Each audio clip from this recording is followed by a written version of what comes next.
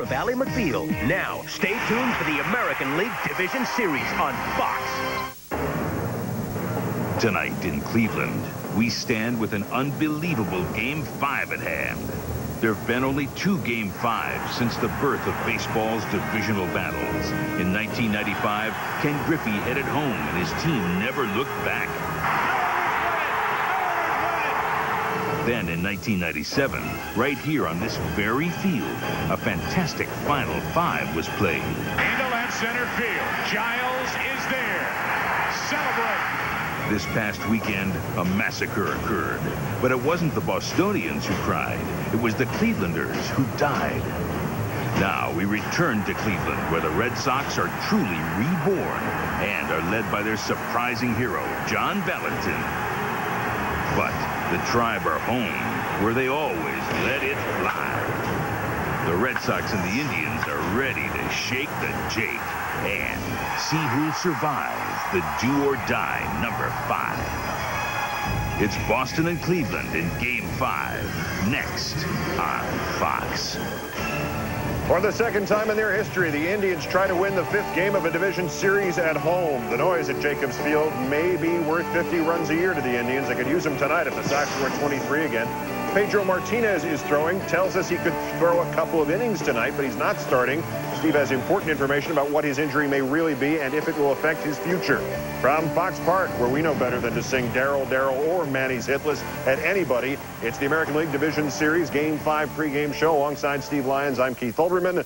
And one team has scored 32 runs in the last two games, and it's not Cleveland. John Valentin has 10 RBI. Dave Justice is benched, and Manny Ramirez is hitless in 15 at-bats.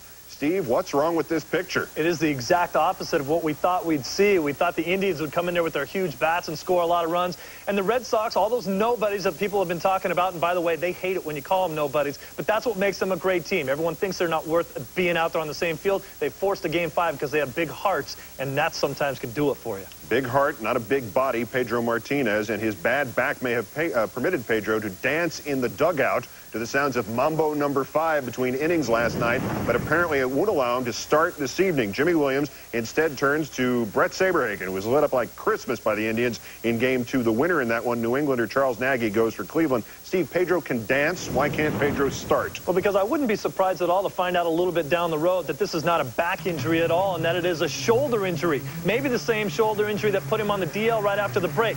Check this out. Game one, fourth inning, a 96 mile an hour fastball that strikes out Jim Thome. Right after that, what is that move right there? That's a move of some guy who's hurting a little bit. He faced two hitters after that. He faced, Baines and then Justice. He only threw two fastballs to both of those guys. Neither of them reached 90 miles an hour, and he got them out on changeups. Granted, he has a great changeup, but it looked like the kind of guy who said, I can't get my fastball up there anymore. This guy's worth $12 million a year. I do not pitch him if I own or run the Red Sox at the risk that I ruin him for a long time after this. I wouldn't be surprised to see him shut down for the rest of the year if he doesn't get better. Yeah, this gesture either means you're hurt or you're landing landing planes. Yeah, because I didn't see any flashlights in his, hand, in his hands, or he wasn't doing that two-finger point like this. Nothing. From the NL playoffs, late word that Cookie's crumble will cost him a five-game suspension. Mets third base coach Cookie Rojas, who shoved ump Charlie Williams over that foul ball in the ninth inning, has had his fortune written for him. He will sit for five, raising the interesting question, what happens if the Braves sweep the Mets in four in the NLCS? Across town, the question is about Paul O'Neill. That bruised rib of his fractured. The break only discovered today after additional x-rays and an MRI. He hurt it nine days ago and did not play in the Yanks' third game on Saturday. They can wait till 10 a.m. Wednesday to set their playoff roster, and apparently Joe Torre will. Well, back to our uh, series. Steve summarizes what's going on here. Well, How has this happened? The Red Sox are back in this series because they've exposed the weakness that is the Indians, and that is their pitching staff. And I'll tell you what, the Red Sox are swinging the bats with a vengeance. John Valentin is a guy who could have buried himself in this series, but he wouldn't let it happen after that error in game one. Valentin, unbelievable. In an eight at-bat stretch, he has six home runs, or six at-bats, Six hits, three home runs, two doubles, a single, and 10 RBIs. You got to remember that before Nomar hit the scene, this guy was the best, second best player on that team outside of Mo Vaughn. Manny Ramirez, on the other hand, 0 for 15, just stinking it up for the Indians. He struck out six times. This is a guy that drove in 165 runs during the year, and they need his leadership. Charles Nagy, probably the freshest pitcher that either team has going. He's a Red Sox killer. He's 10-1 lifetime against these guys, and when he doesn't get the strikeout with balls low and away, he gets the ground ball double plays. He could be the huge key to this Game 5. Bret Saberhagen will go for the Red Sox. Saberhagen's going because he's a warrior, not because he's the same pitcher that won a Cy Young in 85 and 89. He's the only guy the Red Sox have left. They're going to hope that maybe Derek Lowe can come back and pitch a couple more innings as well because he's spent. But nope, uh, Alomar, Vizquel, and Harold Baines just ate Saberhagen up in this last game that he pitched. But bottom line, Sandy Alomar Lofton, Justice, Thome, and Ramirez in a deciding game since 1995. All of them together hit under 200. They have to break out if they want to win this game. All right, when we continue, a team down 0-2 rallies to force a fifth game. What happens then? We'll look into that. And we'll look at Bret Saberhagen. Five hits, three walks, six runs, and two and two-thirds in game three. What happens tonight? Stand by. The eighth time in baseball history, a team has come back from down two zip to force a fifth game in a best of five series. The Red Sox, the latest of the undead. History suggests their odds are decent tonight. Four of the seven teams previously in this situation have won game five. The saddest victims, who else but the Cubs? The league championships were still best of five in 1984. The Cubs won the first two from the Padres, the opener 13-0, and then lost game three. Then lost game four on Steve Garvey's homer in the bottom of the ninth. Game five, 3-2 Cubs in the seventh. Then Tim Flannery's roller hops under Bull Durham's glove at first, tied. Then 24-year-old Tony Gwynn plays pinball with Ryne Sandberg. Padres go in front and to the World Series. The 82 Angels blew a two-zip lead to the Brewers, but led the finale 3-2 in the seventh. With left-hander Cecil Cooper coming up, manager Gene Mauch did not bring in southpaw Andy Hassler, sticking instead with righty Luis Sanchez. Coop promptly whacks a two-run single, and Milwaukee goes to the World Series. Happened to the 81 Astros in that year's split-season strike playoff. Jerry Reuss shut out Nolan Ryan in the fifth game. The only time in the division series, the Yankees had blown a two-zip lead on the Mariners in 95, but still led the decider by one in the 11th. Instead of going to closer John Wetteland, Buck Showalter let Jack McDowell start his third inning of relief. Edgar Martinez relieved the Yankees of any further season. Here comes the tying run, and here comes the winning run. Home teams win game five. Is the crowd at Jake tonight a factor? If you'd asked me this a couple years ago, I'd have said no, but in the 97 playoffs, I watched that crowd at the Jake carry this team past the Yankees and the Orioles. They are the best fans in baseball when they have to get loud. All right, only the third game five in the history of the division series is next. Joe Buck and Tim McCarver standing by at the Jake. We'll see you afterwards. Now, please let it take you out to the ball game. Fifth and deciding game between the Boston Red Sox and the Cleveland Indians. And now welcome to the broadcast booth, everyone. I'm Joe Buck along with my partner, Tim McCarver. Who would have thought when these two teams left this city on Thursday that this series would even think about coming back here for a fifth game? Well, it's a real credit to Jimy Williams and the Red Sox for the abrupt U-turn they've taken in this series. There's one question that's left.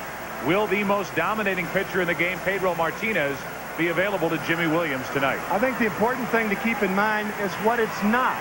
It's not an elbow, and it's not a shoulder. It's a pulled muscle under the right shoulder blade. And what will determine whether Pedro Martinez pitches tonight or not will be whether he can withstand the pain when he throws the ball.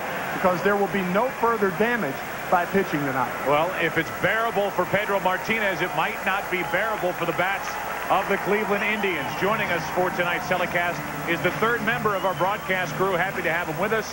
Let's go down to Bob Brenly.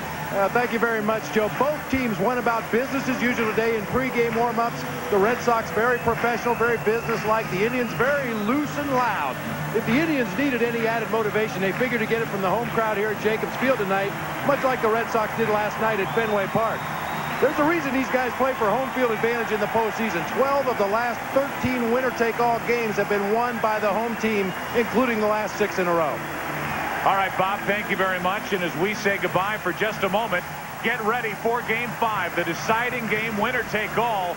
Winner get a chance to go to the ALCS to take on the New York Yankees. Game 5 next on Fox.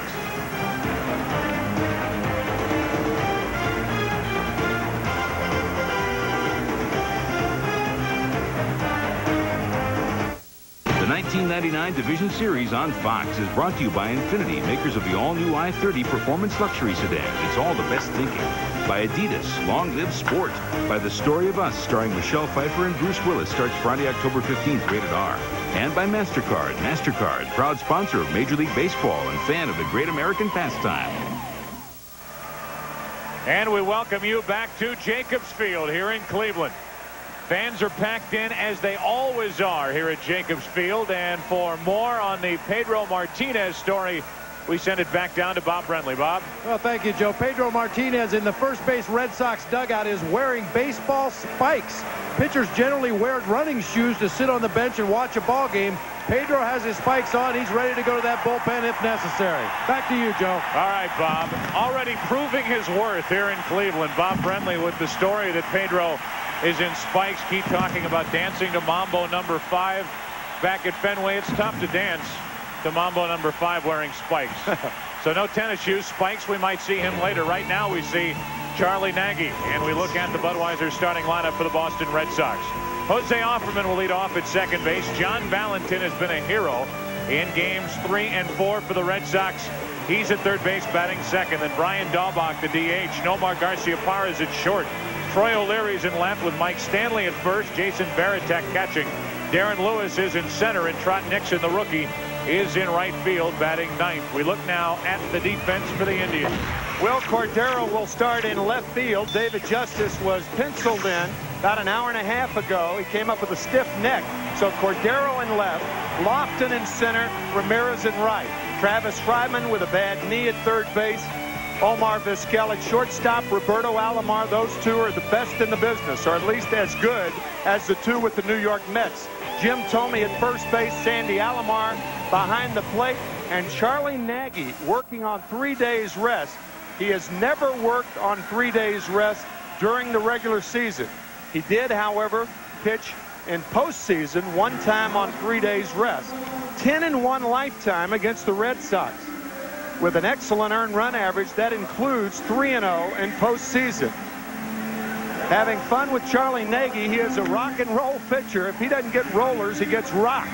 Refuses to use the middle of the plate for strikes. He'll be working down in the strike zone if he's effective, in and out. And he's improved his velocity, I beg your pardon, as his velocity has decreased with fatigue. So working on the fourth day tonight uh, could be an advantage to Charlie Nagy because he's a sinker ball pitcher and not a power pitcher. And sinker ballers uh, need to be a little weak to keep the ball down. This broadcast also available in Spanish by utilizing the SAP button on your television. By the way, who didn't have a stiff neck in the field for the Cleveland Indians in last night's game in Boston? Yeah, you couldn't replace all of them. With a 23 to 7 win for the Red Sox. And this crowd is already going nuts. Nagy ready to work to Offerman with Valentin and Daubach to follow. Game five underway and a one-hopper to Vizquel. One down.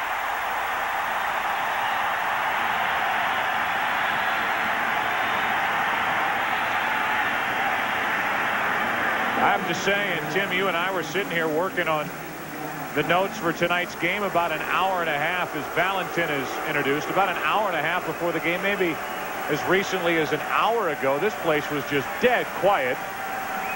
And when they throw the first pitch of the night, this crowd lets these Indians know that they're still behind them despite the fact that they've dropped the last two games to the Red Sox. One out, nobody on, and here's Valentin. And there's ball one outside.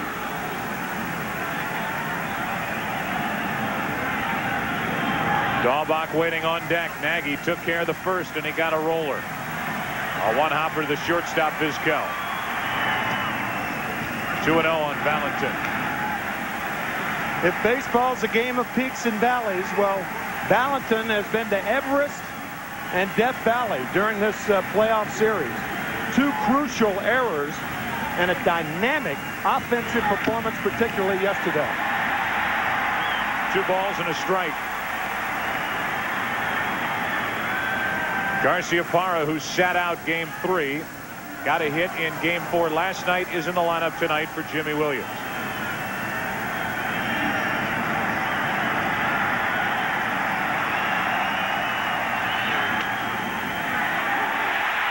Two up, two down.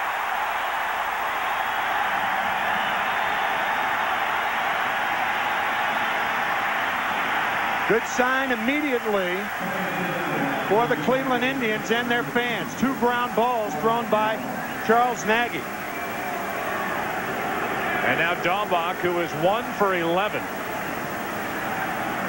The one hit a home run in game three, but only one out of 11 in this division series against the Indians. Two out, nobody on. To the right side and through the right side. A base hit for Daubach, which keeps this first inning alive for Garciaparra. On that ground ball back to Charles Nagy by John Valentin. You may have noticed uh, this ball hit very well to right field by Brian Daubach, but it hit the dirt in front of home plate. That about is about as soft a dirt in front of home plate as you can have, and naturally the Cleveland Indians ground crew has manicured it specifically to Charles Nagy's liking. Now that's Valentin right there. When that when that dust and dirt spreads like that, you know it's soft. Garciaparra into deep center field at the wall. It is gone. A home run, Nomar, and a two to nothing Red Sox first inning lead.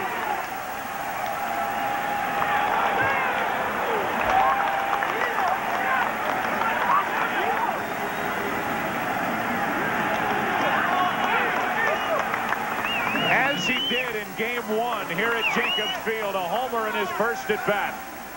And a two to nothing Boston first inning lead.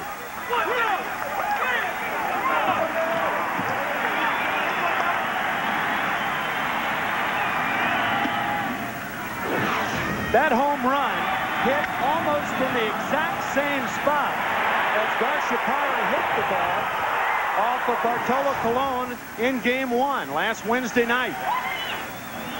How soft is the dirt out beyond the wall in center field?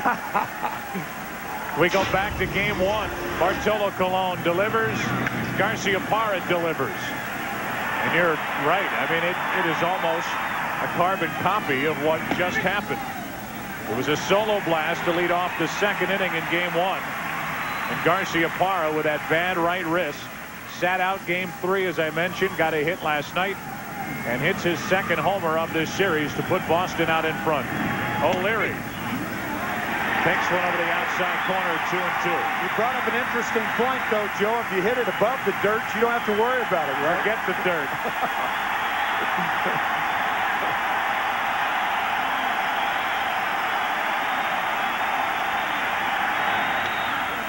Back toward us, still two and two. O'Leary's only two out of 16 in this series. But he led this ball club with 28 home runs, a career high during the regular season. At least two in the first for Bret Saberhagen.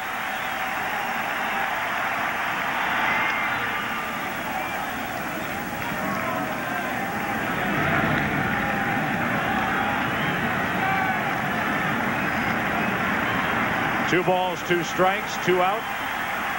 Two runs home for the Red Sox.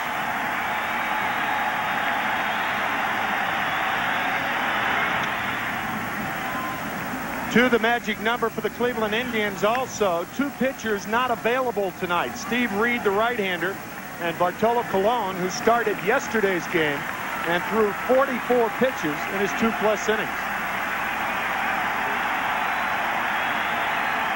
Another 2-2 pitch to O'Leary. And a full count with Stanley waiting on deck.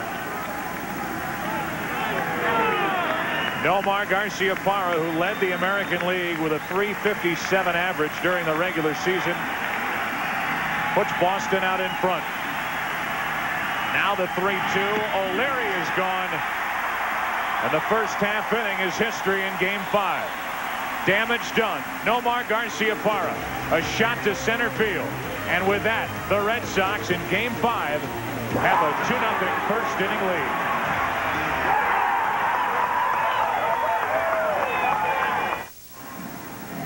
Ted Williams told Nomar Garciaparra at the All-Star game, you're the man now with the Red Sox. Well, there is no doubt about it, at least with a bat in his hands. Nomar Garciaparra is the man for the Red Sox. Tonight, the man on the mound is Bret Saberhagen. And a look at the Budweiser starting lineup for the Cleveland Indians. They lead off with Kenny Lofton in center field. Omar Vizquel batting second at short. Roberto Alomar hitting third at second base. Manny Ramirez, well, it's been a dismal series to this point. He is 0 for 15 with Jim Thome at first base, Harold Baines the DH, Wil Cordero, a late addition to this lineup as the left fielder David Justice takes a seat. Travis Fryman's at third base and Sandy Alomar is catching and batting ninth. The defense of the Red Sox should be familiar to you by now. O'Leary, Lewis, and Nixon in the outfield. Valentin, Garciaparra, Offerman, Mike Stanley at first base. Jason Varitek, his manager calls him fearless. He's behind the plate, and he'll catch Bret Saberhagen. Bret Saberhagen pitched the decisive game in the 1985 World Series. He was the Cy Young Award winner that year for the Kansas City Royals and the most valuable player in the World Series. So this is his second decisive postseason game. Still has excellent fastball, can ride the ball or sink it, and to left-handers, very important. There are six left-handed Indians in the lineup. He'll go outside early, inside late. One little, two little, six little left-handed Indians. Lofton is one of them, and he takes a ball outside from Bret Saberhagen. Lofton is two out of 14 in this series, so another threat at the top of the Indians lineup that isn't doing much in this series against Boston. One ball, one strike. Vizquel next. 2-0 Red Sox here in the first inning. Saberhagen started game two. He lasted only two and two-thirds innings. Two and one on Lofton. Three fastballs from Saberhagen. And remember that last bullet point on his scouting report. Admittedly, he did not throw enough off-speed pitches in game two. That was the game where he gave up seven runs, walking three in an inning. Highly uncharacteristic for Bret Saberhagen. It was also a day in which the Indians won 11 to 1, and it looked like it would be three and out for the Red Sox. And here we are in game five. Two balls and a strike on Lofton. And now three and one from Saberhagen.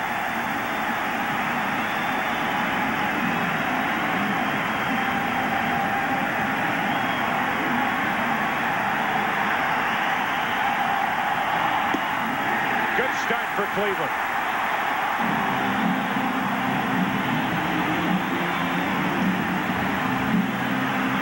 You want to invite trouble, that's the way to do it. Walk Lofton leading off. Saberhagen walking three in one inning. He has only done that six times in his career. Six. And that's over a 15-year period.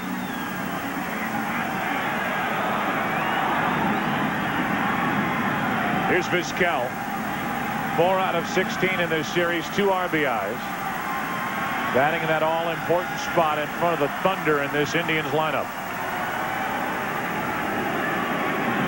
Saberhagen, a two-time 20-game winner, two-time Cy Young Award winner. A guy who sat out all of 1996 with shoulder trouble. They had Lofton leaning, but the throw not close. No tag applied. Let's go down to Bob Brenly. Bob. You know, Joe, Kenny Lofton, uh, obviously a base stealer, spent a lot of time with the Cleveland Indians training staff right before the first pitch of this ball game, stretching out his legs. He should be ready to go. He stays put. Vizquel drops down a bunt. They'll let it roll, and a wise decision by Varitek as he picks it up foul.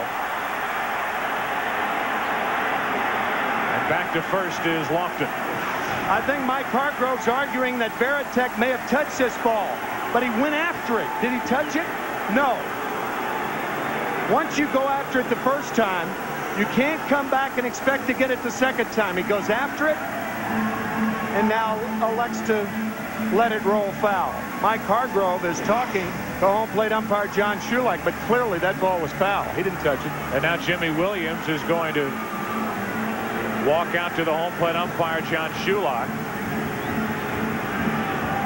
and say, look, what's he running out there for? I'm going to come out and have my say. And Shulock at least hears it from Jimy Williams, and now Jimy Williams hears it from the crowd here at Jacobs Field.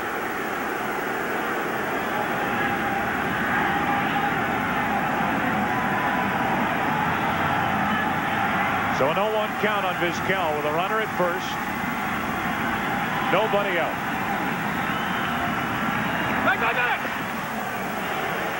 And you can hear first base coach Brian Graham screaming at Lofton to get back.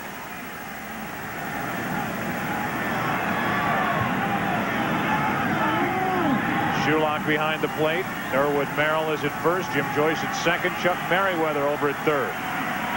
Now Lofton's running. Throw down by Varitek, not close.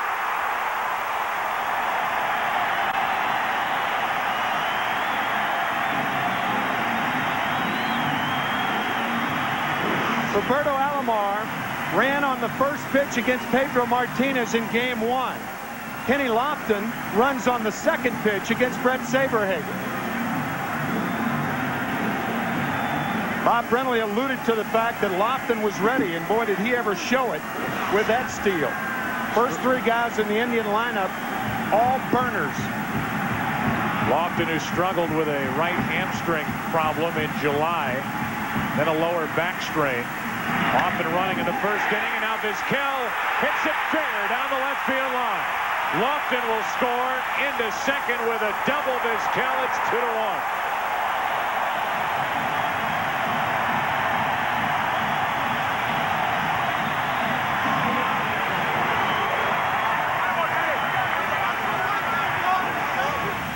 Joe Kerrigan, the pitching coach, out to talk to Saberhagen.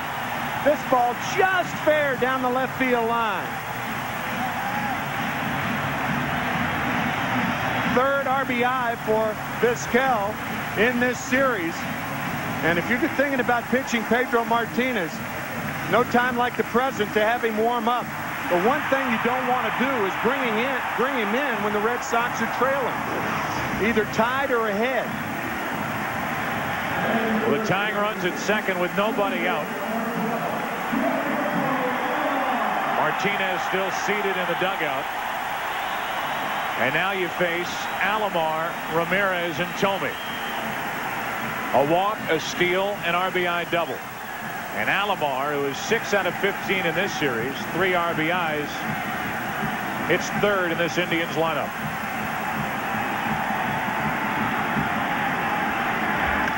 Hard hit right at Stanley, one away. Good base running by Vizquel. Stays close to second, then back to the bag. He's there with one out. Even the out, the first out for Bret Saberhagen is a bad sign. A rocket caught by Mike Stanley. And you're right, it was good base running by Vizquel. The Indians fans wondering if it's right here and now that Manny Ramirez, who drove in 165 runs during the regular season, breaks out of this funk in this division series.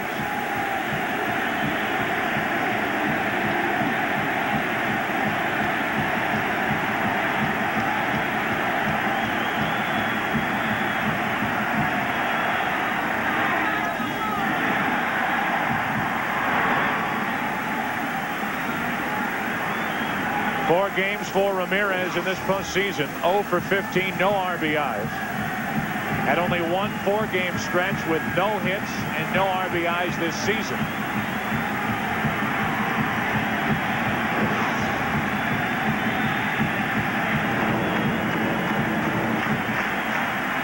The 1-0. Right down the middle, one ball, one strike, and Saberhagen got it up there at 91 miles per hour.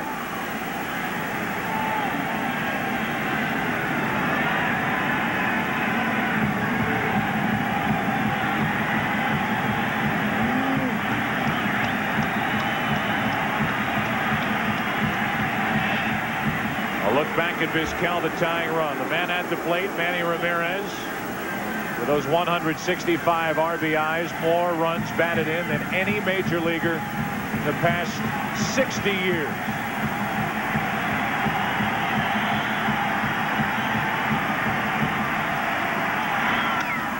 Pops it up. Shallow right, easy for Nixon. Two out. And now it takes a hit from Thome to tie this game. Ramirez now 0 for 16. A perfect pitch to Manny Ramirez. That's what American League pitchers try to do. Crowd him. You see how he brings the hands in, hits the ball a little above the trademark, and pops weakly to the right side. Perfect pitch by Saberhagen. Those are the types of pitches where you want the hitter to put the ball in play and not foul it back. Now a postseason pain in the neck for opposing pitchers. Jim Thome digs in. 14 career postseason home runs in 49 games.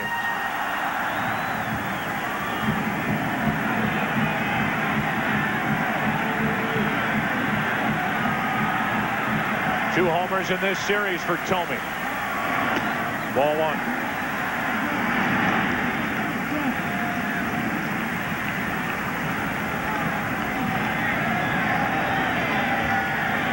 Dancing at the moment for Martinez, just support for the veteran Saberhagen, a 35-year-old right-hander.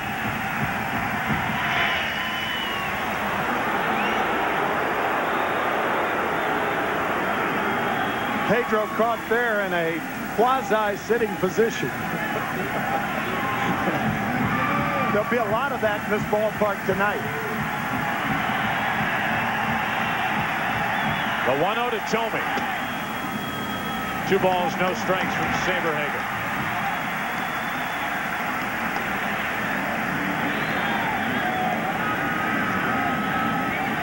Jim Thome, who led the league this season in walks and strikeouts.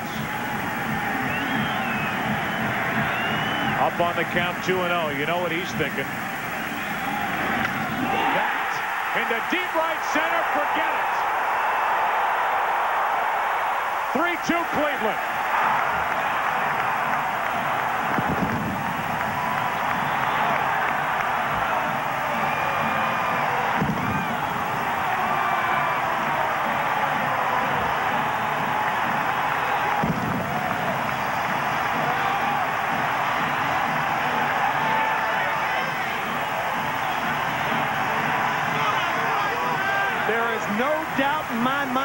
Jim Thome was looking for a changeup on the 2-0 count with first base open.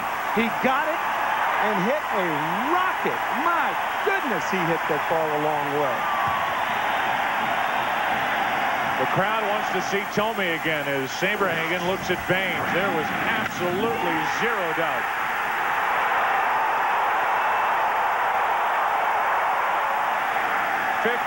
Career postseason home runs for Thome third of this series. Two balls, no strikes on Baines.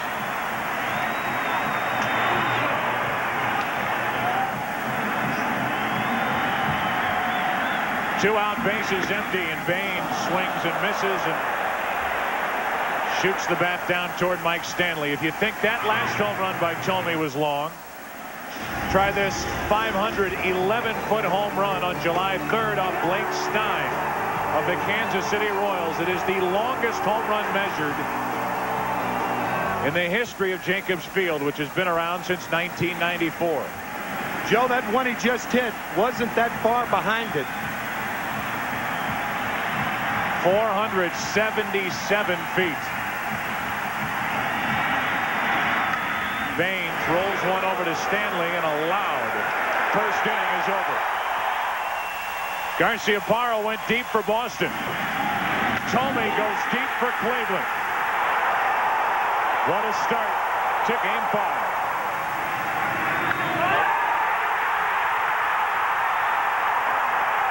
Three-two Indians.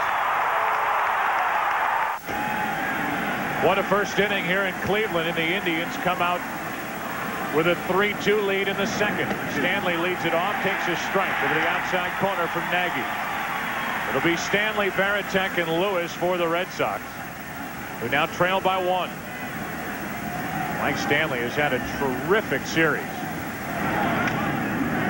You saw the average. He is 10 for 16. Between innings, Jimy Williams and Pedro Martinez talking at one point. I saw Jimy Williams say to Pedro, maybe he'll settle down.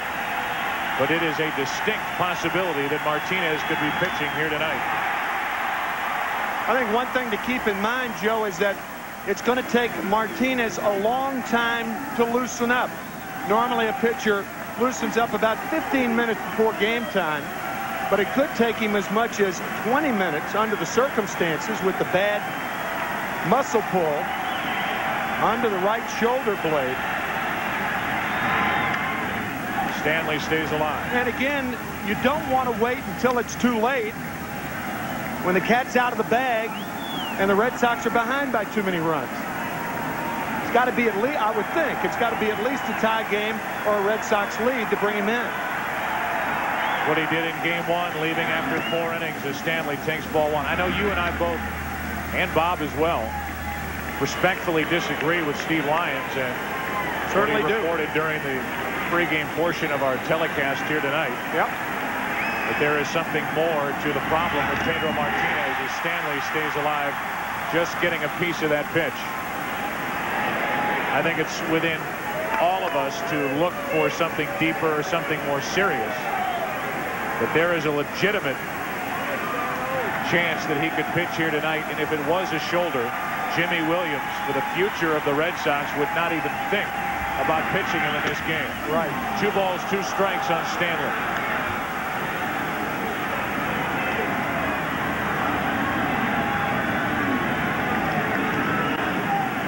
Stanley.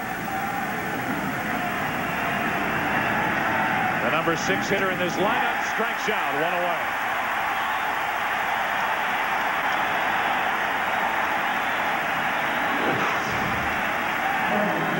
staying out of the plate, teasing Mike Stanley with the breaking ball away. Fine slider from Charles Nagy. When he's in the middle of the plate, as with most pitchers, he is very, very hittable. He's not a hard thrower. He's got to work the corners and keep the ball down to be successful. Now Varitek pounded a home run in that 23-7 win last night for Boston at Fenway. Takes a ball. He's had a long year, 144 games for the Red Sox during the regular season, and he's been behind the plate in each of these five in this series with the Indians.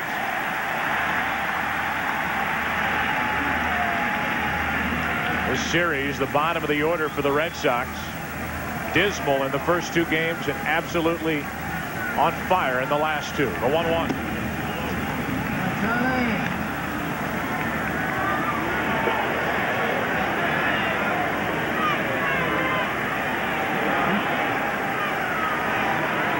Two balls and a strike on Varitek.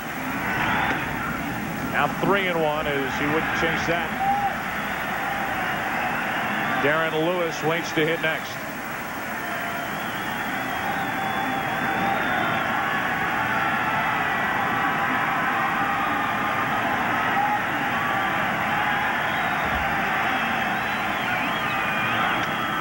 Up the middle, Alomar to his right. Backhanded stab, Two gone.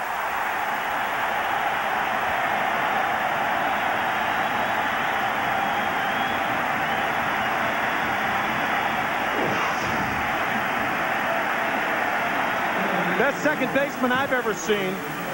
He adds a new dimension to second base. Range. Yet another example of Alomar's remarkable range at second base, throwing in the same motion. One hops it to Thome for the second out. And now with two outs and the bases empty, Darren Lewis takes the ball. You could see from up here that the instant that ball left the bat, he knew he was going to make the play. He didn't hurry to get over there. He timed it to where he'd have a true backhanded pickup. He knew who was running. The catcher Varitek, and he got it by half a step. One ball, one strike on Lewis. Five out of 12 in this series, which is a surprise for a guy who was struggling in the final month of the regular season with a sore left wrist. Alomar, another try to his right. Backhanded picked up. He got him.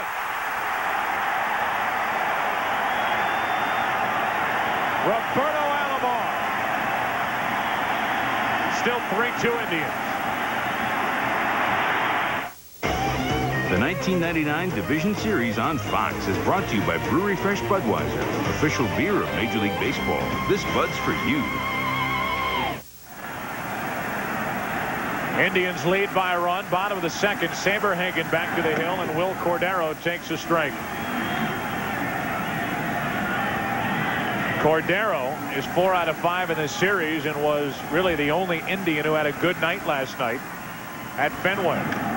Hit a home run in the game and that 23-7 loss as he's in the hole now 0-2. Cordero, then Fryman, then Alomar, the bottom three in the lineup for the Indians.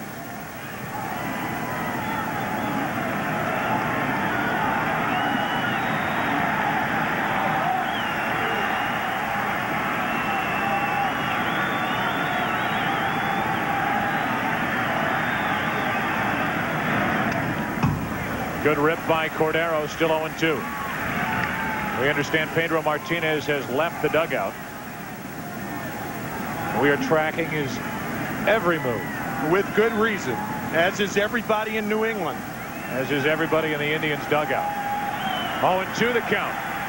Cordero first up in the second for the Indians.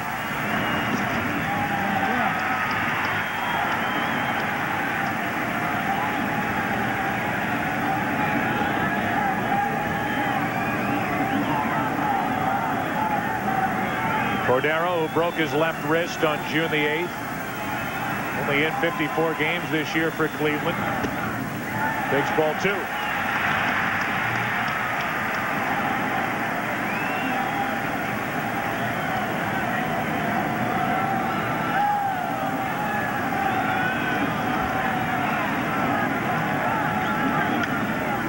Still two and two.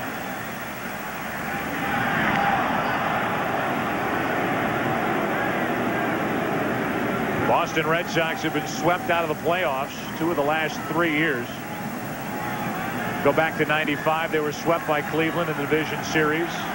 Last year losing three games to one. The hands of the Indians. Tied two games apiece here in game five. And Cordero into left field. Into the corner and off the top of the wall. Well played by O'Leary. And Cordero can manage only a single on a ball that nearly left the park. O'Leary, who's used to playing that green monster in Boston, played that like this was his home ballpark. From a defensive standpoint, the Red Sox are superior. They have a very, very good defensive outfield, as shown right here by Troy O'Leary. One hop off the wall to hold Cordero to a single.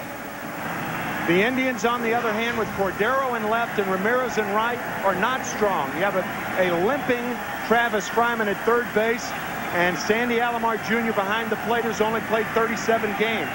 Six operations on that left knee. Fryman gets into one into left field. At the track, O'Leary looks up.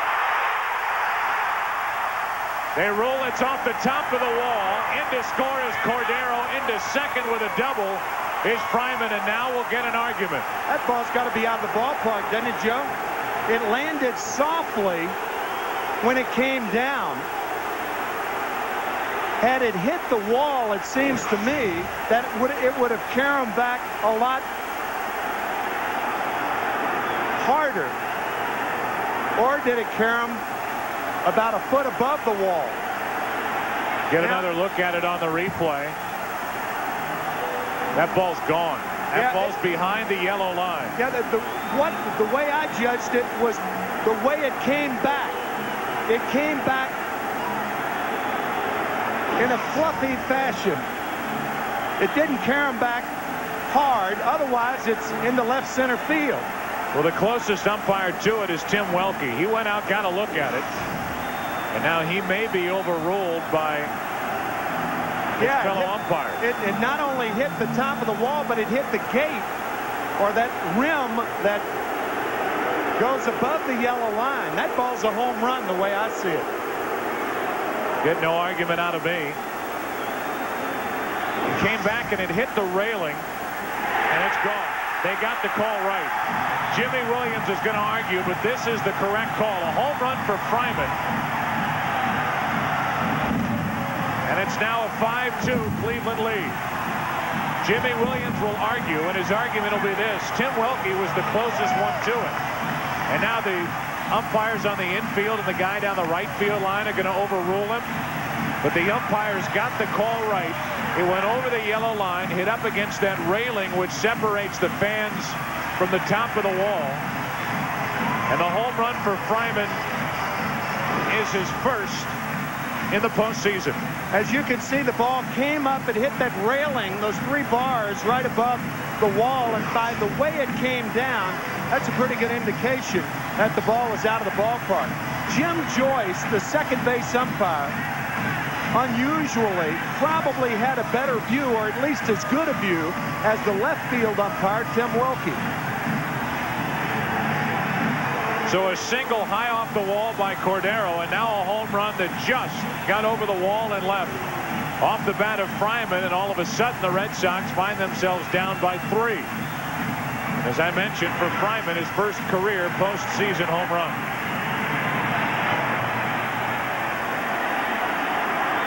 And now Jimy Williams out to the mound. He's going to make a pitching change. As he did in last night's game four. Derek Lowe will enter. A pitching change here in the second as the Red Sox had to make in game four. Cleveland up by three. Well, we can debate it all we want up here in the booth. Let's go down to the field, listening to Brian Graham, first base coach of the Indians, and Mike Stanley. Home run. That's a home run. It hit on top of the bar, didn't it? I thought it hit the yellow line. Oh, I thought it hit the bar and went up in the air. Uh, I thought it hit the yellow line. It was kind of like a cushion. It's kind of a uh, cushiony bounce. I felt. Uh, I thought it hit hit the bar and went up in the air. It was a home run. Brian Graham was exactly right. It hit that bar behind the yellow line. Fryman goes deep, and it's 5-2 Indians. Yeah, Joe, I think they were both right. I think Mike was right. It hit the yellow line and then the bar. that cushiony coming back to the field. The 0-2. Let's go down to Bob Brenly. Bob. Well, you know, Joe, a similar exchange on the third base side. Jeff Newman, the third base coach for the Indians, consulting with John Shulock, the home plate umpire, on his way out to consult with Jim Joyce and Tim Welke. By the time Shulock got out there to the consultation, he ruled home run.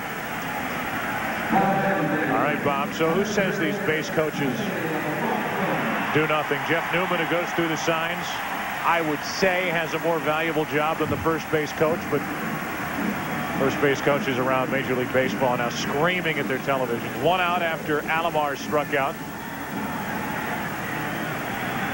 And we go back to the top of the order. Lofton, who walked, stole a base, and scored a run. And the first inning, digs in, and that's strike one. Tim Welke, the left field umpire. That's why you have uh, umpires down the lines in postseason play usually closer to plays on the wall. Jim Joyce, because there was a runner on at first base, was inside the second base line. Now, right, right here, you can see Jim Joyce would have an easier time identifying a home run in that area, but still had a pretty good shot on a ball hit in the air because he was racing toward left center field. Lofton pops it up. Offerman back to get it, and they leave him alone. Two out. Derek Lowe, the right-hander on the mound for the Red Sox, has pitched extremely well in this division series and is making a name for himself. With those in baseball who are watching him work in this postseason, he does have a win and a loss. Two decisions. You see what he did this season with an ERA of 2.63 in 74 games. Also saved 15 games. He's got a nasty, nasty sink to his pitch. Good breaking ball. Get it up there around 90 miles per hour. A one out of his Vizquel is in for a strike. One ball, one strike. Overall in this series, Lowe is one and one with an ERA of 1.42. Only one run in seven innings now. Two balls and a strike on Vizquel. In game one, he came in the game after Pedro Martinez left in the fifth inning. And then in the sixth, with two out and nobody on, Valentin made the throwing error. Then Jim Thome had the home run. That was the only hit the Indians got off Lowe in that game. On three and one, Vizquel grounds to first. Stanley makes the easy play and the inning is over. But another home run, another two-run shot. Travis Fryman goes deep, and after two, 5-2 Cleveland.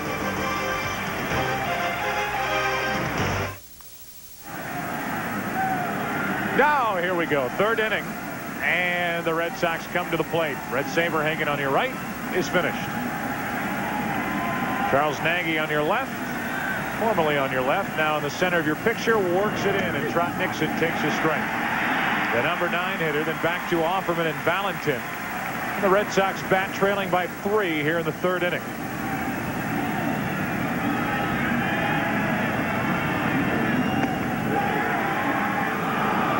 thought it was strike two. It's ball one. One ball, one strike. Joe, we talked about that loose dirt in front of home plate. Charles Nagy has enticed four ground ball outs and two strikeouts. Not a fly ball out yet.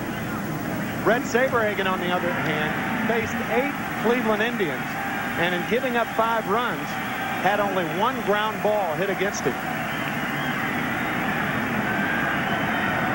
Two balls, one strike. Trot Nixon leading off checked his swing. Three and one.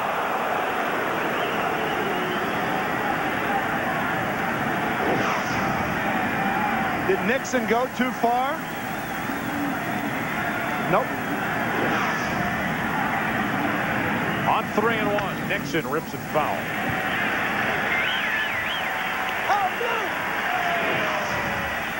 Watch Sandy Alomar from catcher cam. get some help. Third base umpire Chuck Meriwether said he did not go around. And now it's full. Three balls, two strikes.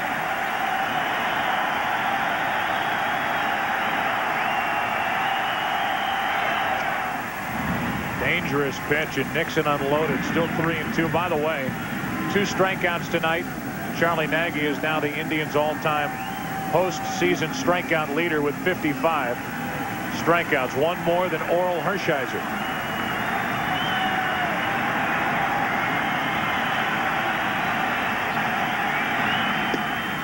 A leadoff walk. That's the first walk handed out by Nagy tonight.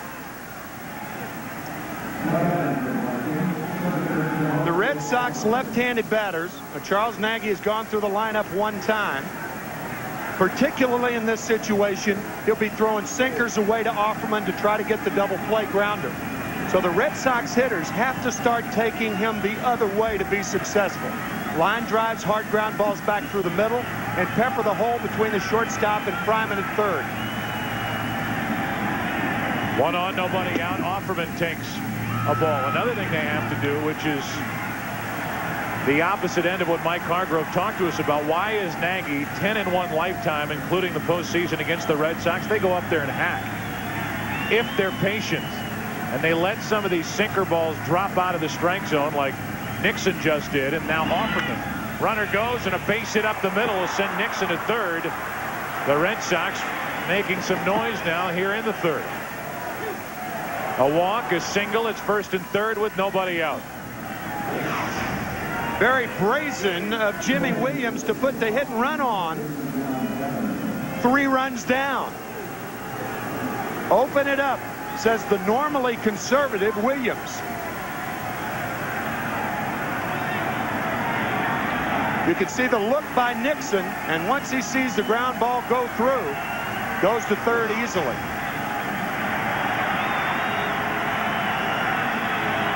Valentin, who went deep twice in game four last night in Boston, stands in. First and third, nobody out. And a strike. Last night, take you back to the two home runs. Got Bartolo Colon then he took care of Parsec. One into the net, one over the net.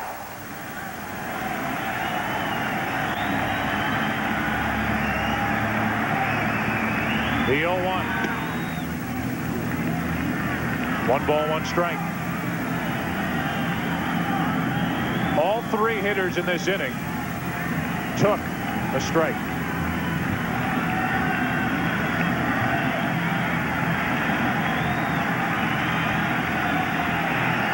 First and third, nobody out.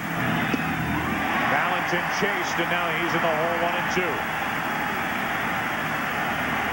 Nixon a walk, a hit and run single for Offerman.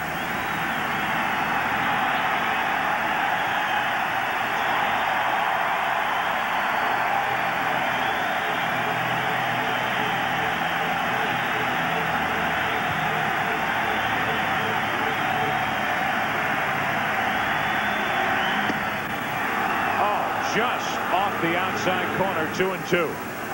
That's what that fastball inside did on the first two pitches to Valentin. Two fastballs in, breaking ball away, and now the fastball just misses. Close. Two balls, two strikes. Tying run at the plate for the Red Sox. That's foul. Offerman started and stopped over at first.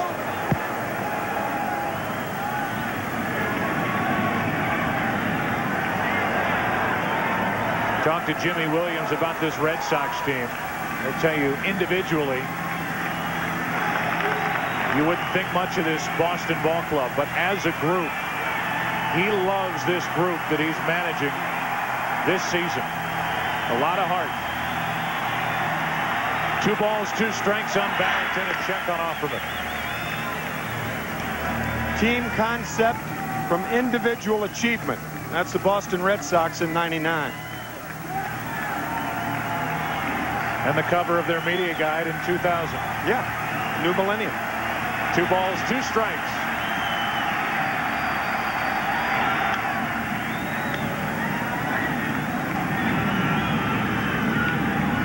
Here's a guy in Valentin who had trouble with the left patella tendon, tendonitis in that left knee.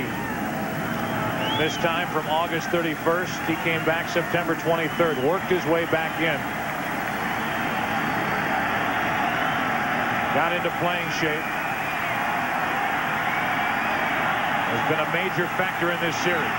Valentin grounds it. Fryman diving stop. Out at second. That's all the Indians will get a run scores. And it's 5-3 here in the third. Fryman, bad knee and all, took a hit away from Valentin. You had bad knees at the corners on this play. Nixon scores. Watch the play by Fryman. Still good hands, not a lot of range. But as Alomar feels it and uses the bag for protection from the sliding Offerman, Valentine or Valentin is diving into first base. Great play by Fryman. But Valentin risking further injury to, the, to that knee, diving into first on the other end. One on, one out, two-run game. Daubach takes high for ball one. Daubach a base hit with two out in the first inning immediately before the home run hit by Garciaparra. First pitch, a two-run shot. And the Indians came back with three in the first. Cleveland just got two in the second. Now the Red Sox get one in the third. One ball, one strike on Daubach. Well, you saw Travis Fryman. Here's John Valentin on the other end. Limping down the first base line and then diving into the bag. Sleep in November, I guess. They don't bother to hold against Valentin, who isn't running well with a left-handed batter at the plate in the 1-1. Two balls, one strike on Daubach.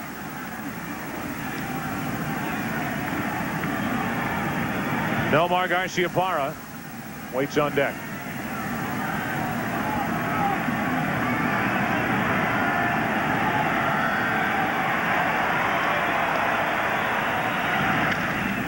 Daubach pretty well hit into left field. Back is Cordero.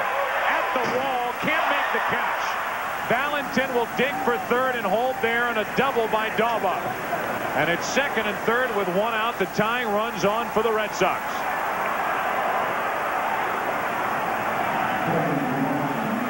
So now the Red Sox, you had Offerman going up the middle, and now Daubach clearly going the other way. We talked about the left field defense of Cordero. Some left fielders would make that play.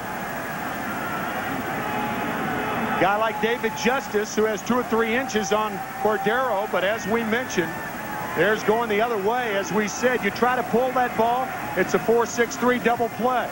But the Red Sox, the second time through, are adjusting to Nagy. And now this presents, with runners at second and third, one out, first base open. A third inning decision for Nagy and Mike Hargrove.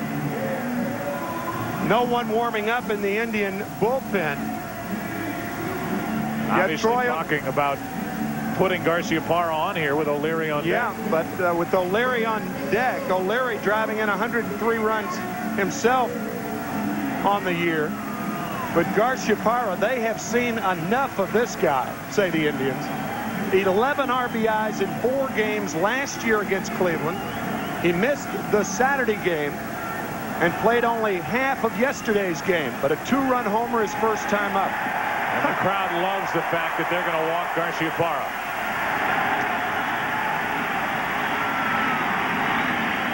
And obviously, if the Indians are in a spot where they can pitch around Nomar and let somebody else beat him, they will. the utmost respect walking a right-hander to get to a left-hander with over 100 runs driven in. If you're Troy O'Leary right now, you've got to be thinking Nagy's only going to go away from me. So I've got to do like Daubach did and hit the ball the other way. O'Leary with good power to left field. No sinker ball pitcher will entice a double play by coming inside to a left-hander. He'll stay away. So once again, O'Leary's got to be looking away with Nagy out there, at least on the first couple of pitches. Bases loaded for the Red Sox, who are trailing by two. Third inning. One out. Troy O'Leary struck out his first time. Hits it in the air into deep right center field. Track wall grand slam. Troy O'Leary. A 7 to 5 Red Sox lead here in the third inning. They walk Garciaparra and Troy O'Leary says take that. A grand slam and it's a two-run Red Sox lead.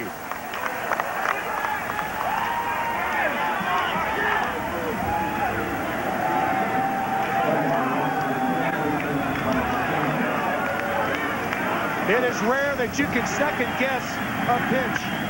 But when you walk a guy like Garciaparra and you've got a left-handed hitter up there, you can't throw him an off-speed pitch. Not to get the double play. First pitch, a hanging breaking ball to O'Leary. He did not foul it back. He made the Indians pay immediately. Stanley now, who struck out his first time bat, still only one out. A five-run third inning. And seven runs already for the Red Sox, who scored 23 in last night's victory in Game 4. Two balls, no strikes. Two and one on Stanley. Action for the Indians out in their bullpen. The Red Sox have already, as Jaret Wright gets loose, the Red Sox have already relieved their starter. Hard hit the third. Driving plenty of time with Stanley running two out.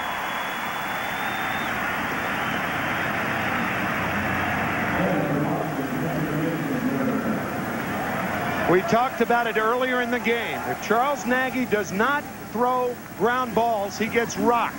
Kidding about it earlier, serious about it now.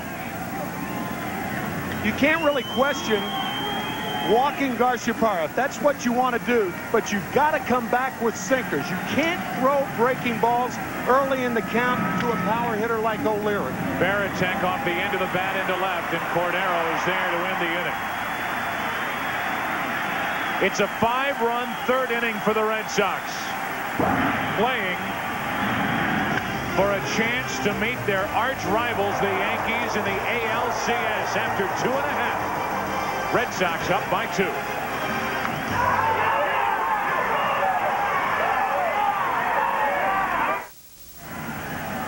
Hard to believe with all the postseason action for the Red Sox, but Troy O'Leary is just connected for the first grand slam in Red Sox postseason history. Into right center field to give Boston a 7 to 5 lead. We're now in the bottom of the third inning. And Roberto Alomar takes a ball from Derek Lowe.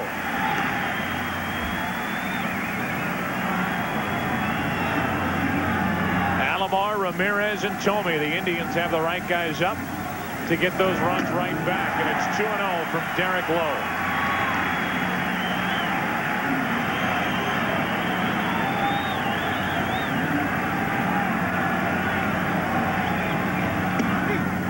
A strike from Lowe, and it's 2 and 1. The Red Sox, who won the World Series in 1903, 1912, 1915, 1916, 1918, but haven't since 81 years later are playing for the right to meet the Yankees in the American League Championship Series. Working in a hurry, low on 3 and 1. Runs the count full on Roberto Alomar.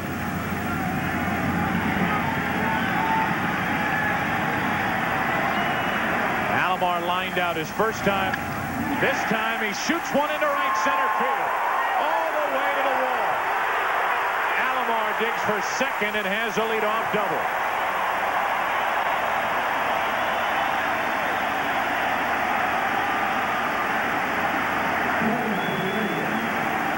Only a total of 30 runs scored in last night's game. We're already up to 12 tonight. That fastball just rifled into right center field. So many things that Alomar can do on the bases. We've seen his defense back-to-back -back plays in the second inning.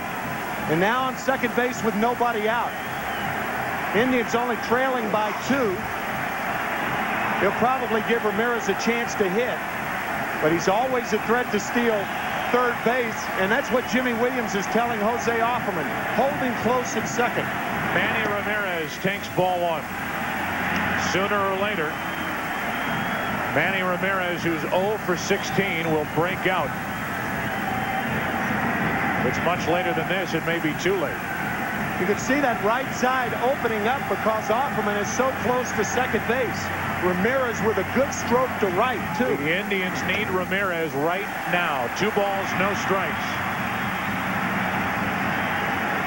And now Joe Kerrigan, the pitching coach, is going to come out and talk to Derek Lowe.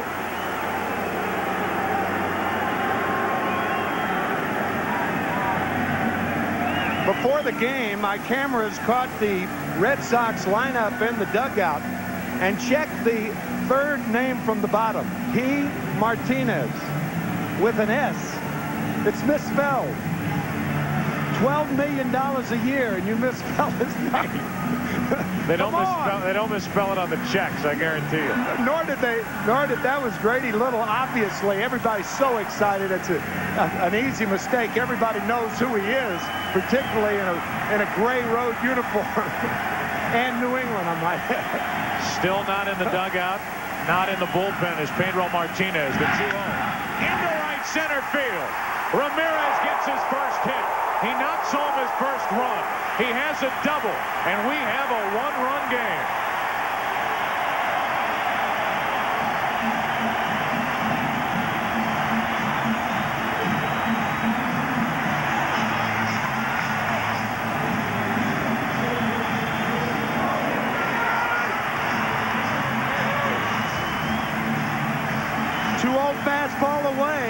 Talked about the stroke of Ramirez to right field.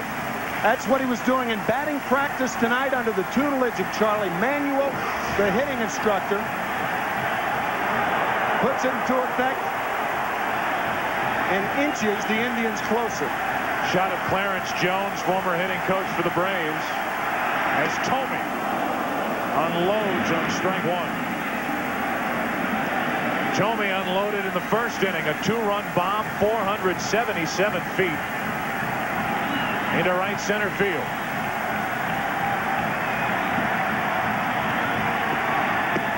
Breaking ball had Thome frozen 0-2. Derek Lowe's out there talking to himself after back-to-back -back doubles by Alomar and Ramirez. Red Sox lead by one. Tying run at second. Go-ahead run at the plate.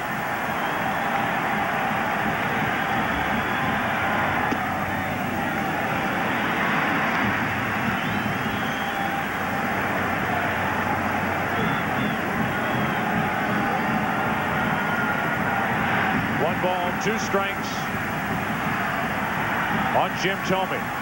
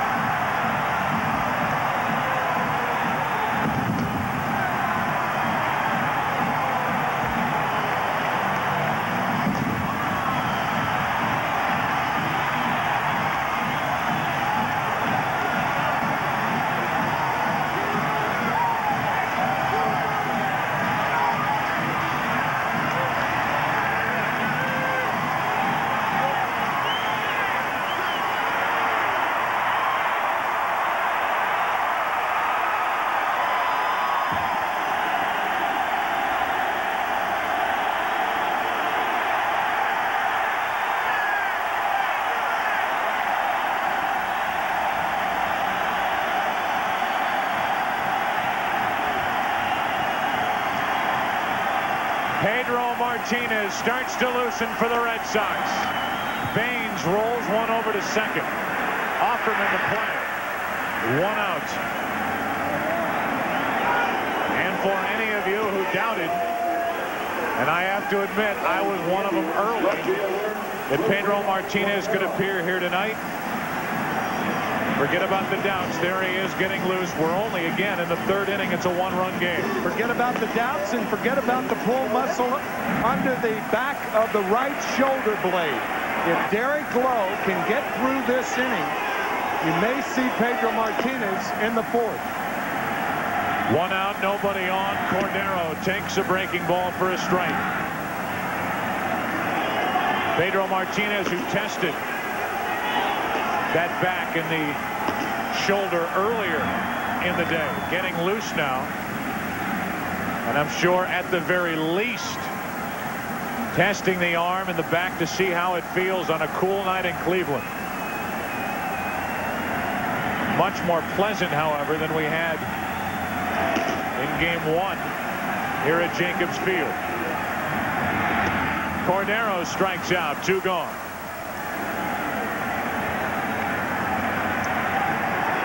These two teams absolutely literally pound on one another, the Yankees have to be watching and smiling, knowing that there's Martinez warming up. The Red Sox have pulled their starter Saberhagen after one plus innings. Last night, Bartolo Colon for the Indians couldn't get through two innings. Did throw only 44 pitches. But the top starters, Dave Burba, out with a muscle in his forearm. Injured that in game three, had to leave after four innings. There might not be much left after this series for the ALCS and the defending champion New York Yankees. 0-2 on Fryman. Rod Beck getting loose as well for the Red Sox.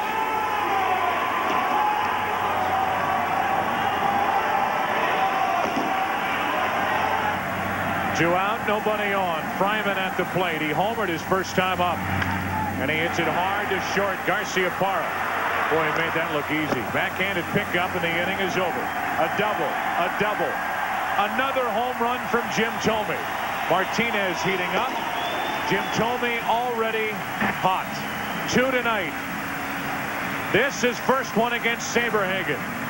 477 feet. No measurement on this one yet. One thing we do know, it puts the Indians up 8-7.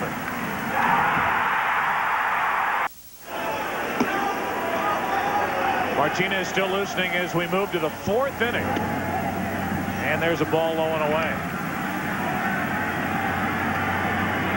One ball, no strikes on Darren Lewis.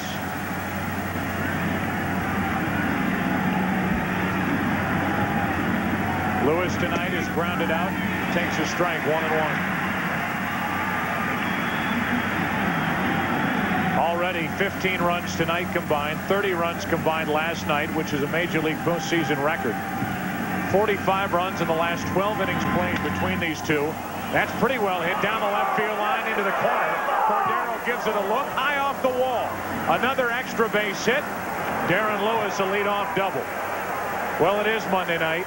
For those of you watching maybe another sport on another network, welcome to some scoring. You made mention of it. Stop laughing. You look. Stop laughing. Like Well, the, the Indians went for two. They're leading eight to seven. That's right. I was just First gonna quarter. Usually a football team doesn't go for two this early in the game. That's right. Well, the Cleveland Browns can only hope they would score like this. The Indians trying to maintain. Now they put a graphic over me, so I have to look down. Outscored 19 of 26 NFL teams. 23 runs scored. There you go. That's that's prep. It's all about preparation.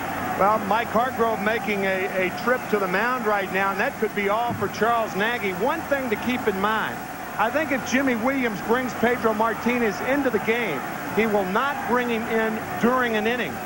He hasn't come in during an inning since 1994 when he was with the Dodgers.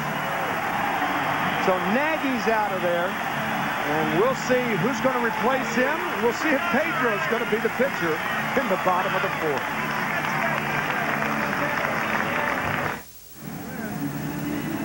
Well, Charles Nagy is finished 10 and 1 lifetime against the Red Sox. You'd never know it.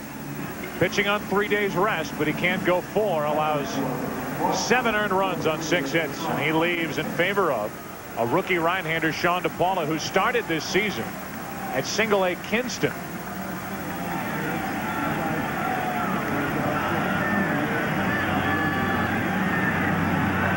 DePaula, no record, only appeared in 11 games during the regular season for the Indians.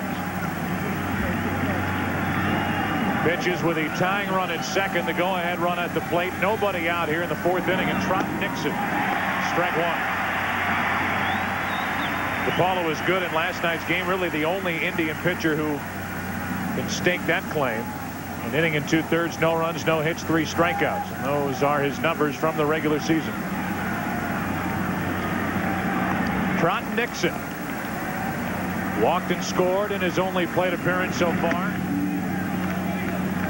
See that DePaula throws hard 94 miles per hour one ball one strike.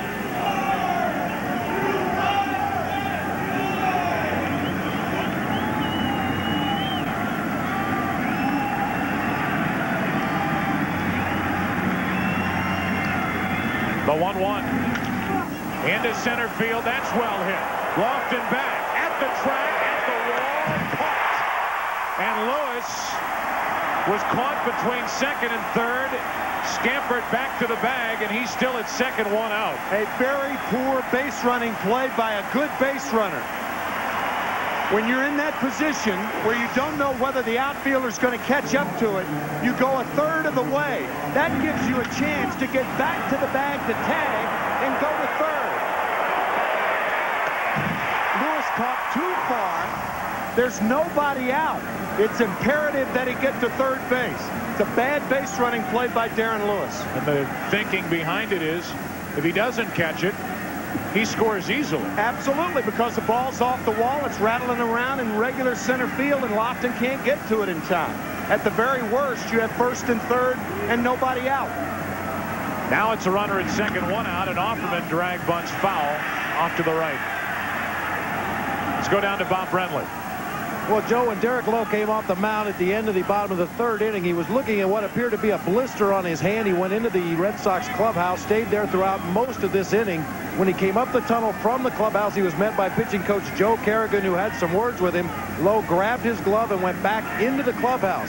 As Pedro continues to throw in that bullpen, we can only speculate that perhaps he's coming into this game. Bob, thank you. Look at Joe Kerrigan. We mentioned, he's been with Pedro Martinez their years in Montreal, 94, 95, 96 together there, together with the Red Sox. Runner at second, one out. And one ball, one strike on Offerman.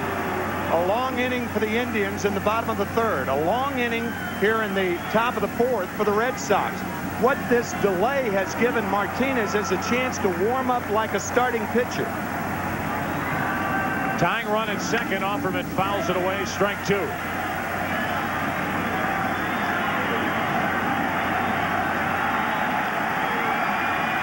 Pedro Martinez now with a jacket on. As this crowd comes alive on a one-two pitch coming to Offerman.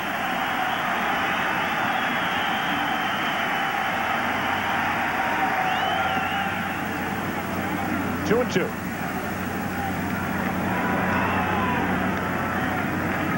Valentin, one of the hitting heroes for the Red Sox in this series on deck.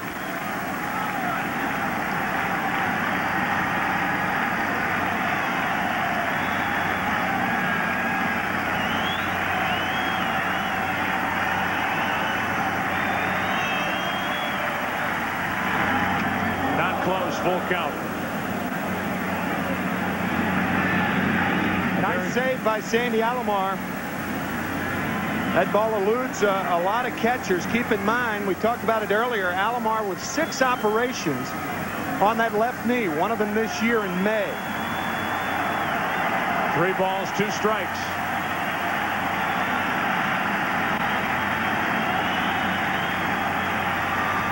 And Offerman wants time. John DePaula basically came out of nowhere down the stretch for the Indians and pitched so well that he was forced into this bullpen for the postseason for Cleveland.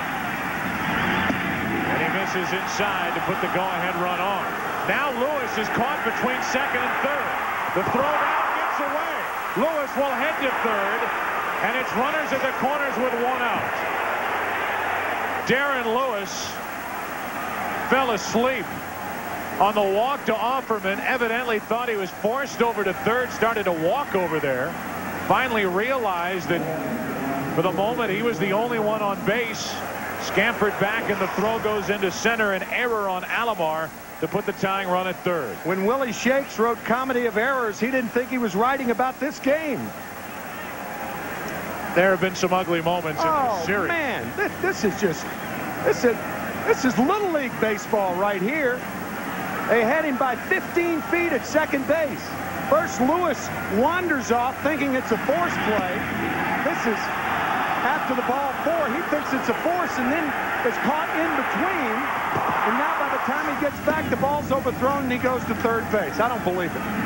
Now runners at the corners, one out for Valentin. So in the end, Lewis is standing at third with one out. Just as he planned it, right? Absolutely. Oh, man. A 1-0 pitch. High from DePaula, 2-0.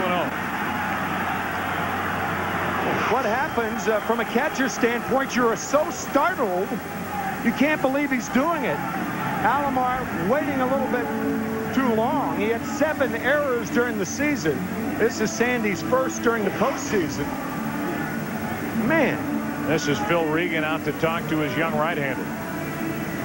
What a spot for a guy who started the season in single A.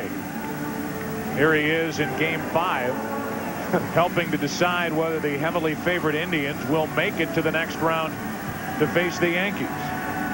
They call it a meteoric rise. I've always found that funny since a meteor falls and doesn't rise. Mr. Carlin, your car is waiting. First and third, one out, two balls, no strikes. And why do they have locks on the doors at 7-Eleven, right? They're open 24 hours. Two balls, no strikes.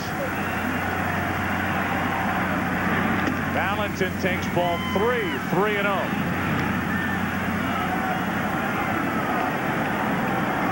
Since the fifth inning of game three, 39 runs, 40 hits, in just over 15 innings.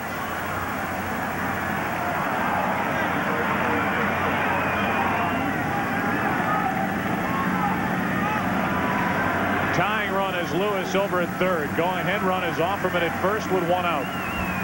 Is Valentin swinging on 3 and 0? Yes. And he gets into one to left. Cordero makes the catch. Tagging and scoring is Lewis. Back to first is Offerman. And it's an 8-8 game here in the fourth.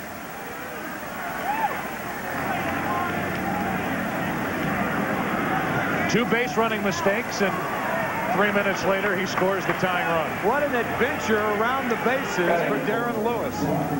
He should have been on third on the deep fly by Nixon. He thinks he's forced. And now he's forced to come home after tagging at third. Finally, Darren crosses hold.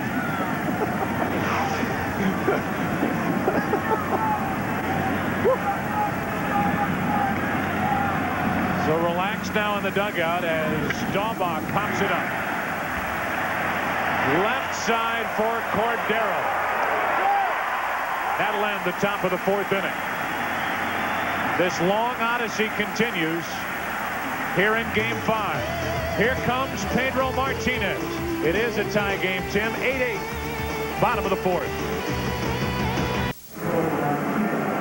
Pedro Martinez will be under the watchful, scrutinizing eye of Joe Kerrigan as he works here in the bottom of the fourth inning. Look at that, Joe. They changed the S to a Z. Finally, they got it right. I guess Pedro had to had to go out there and show him the name on his back. it is Pedro Martinez with a Z. And with those numbers, everybody in baseball is well aware of who he is. A 2.07 ERA. And we look at the radar gun, 91 miles per hour. This Sandy Alomar Jr. The number nine hitter to lead off in the fourth inning of an 8-8 game, game five of this division series. Crowd chanting Pedro as he falls behind 2-0.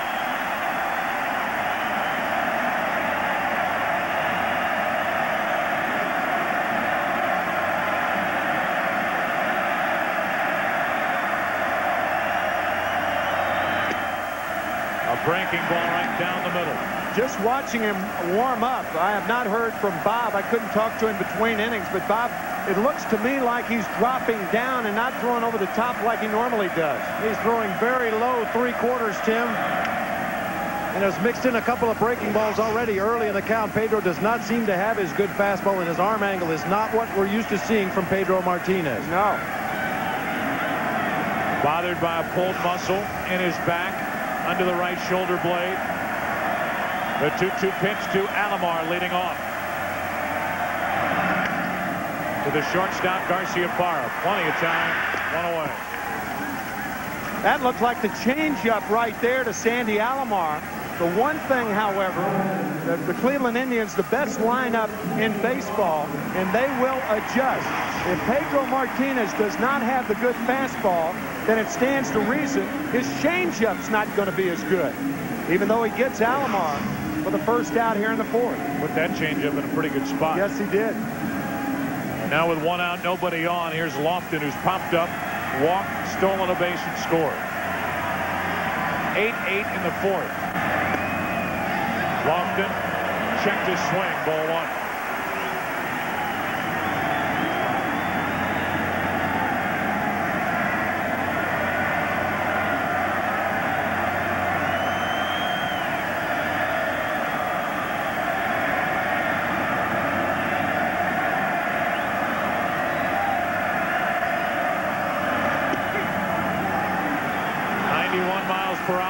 strike one. He had some pop on that fastball. He was on top of it, and it rode in on the hands of Kenny Lofton.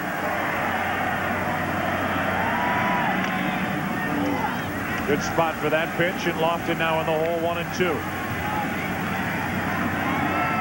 In his career against the Indians, an ERA of under two. 1-0 in the postseason. That was game one of this division series a year ago.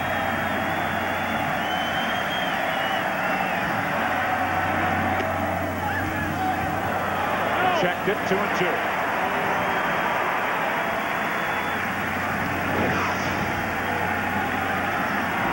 Kenny Lofton held up.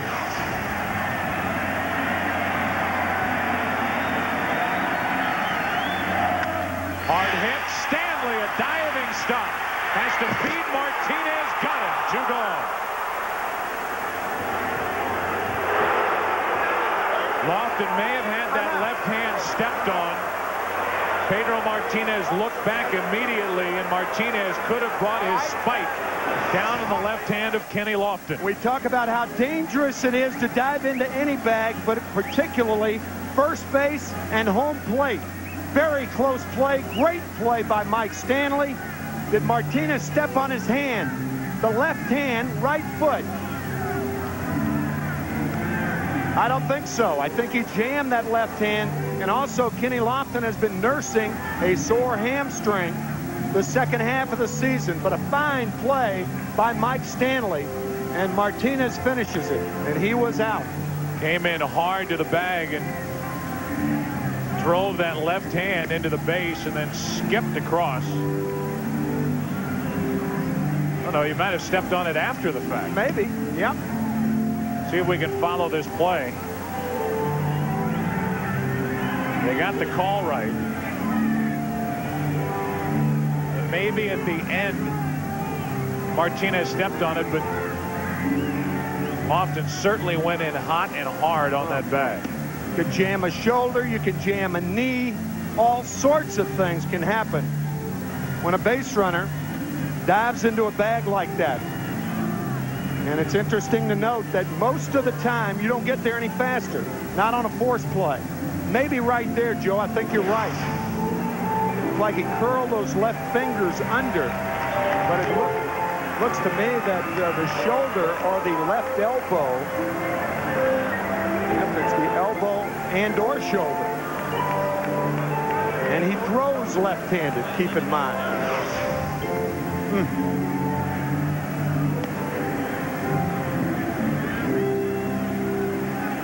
Good call by first base umpire Durwood Merrill. He was out by about the length of an index finger. And I think you can put aside the worries about the hand. I think you're right. It's shoulder or elbow when he came down near the first base bag and then skipped across it as that left arm kind of gave out.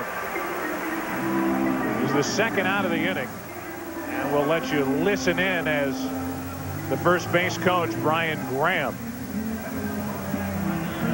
has this to say. I'm out. I'm out. Lofts, you okay? You all right? No. All right, lay there. Just hang it. Help's coming. His left. I got his wing. His shoulder.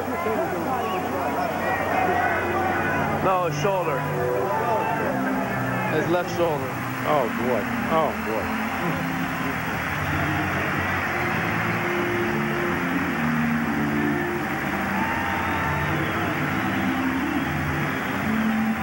Martinez will give him a pat on the backside. And out of sheer effort and hustle, Kenny Lofton jams that left shoulder. Who knows the extent of that injury, but the way he's walking off in considerable amount of pain. Two out here in the inning. You'd have to believe the Indians have lost their leadoff hitter for some period of time. Not only lost their leadoff hitter, they've lost their best defensive outfielder in the same breath. So this will certainly weaken the Indians' defensive outfield.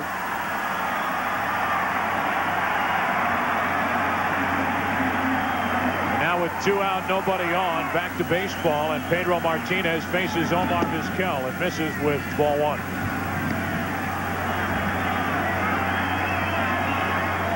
Bob Brenly will get a report for us. One ball, one strike from Martinez. Haven't seen anything harder than 91 miles per hour from Pedro. Normally 95 to 97 with that fastball. Broken bat fly ball to the right side and caught by Stanley to end the inning. So Pedro Martinez does indeed come in and pitch. He has a one, two, three, fourth inning. While they look at Lofton, we'll take a break. Fifth inning when we come back.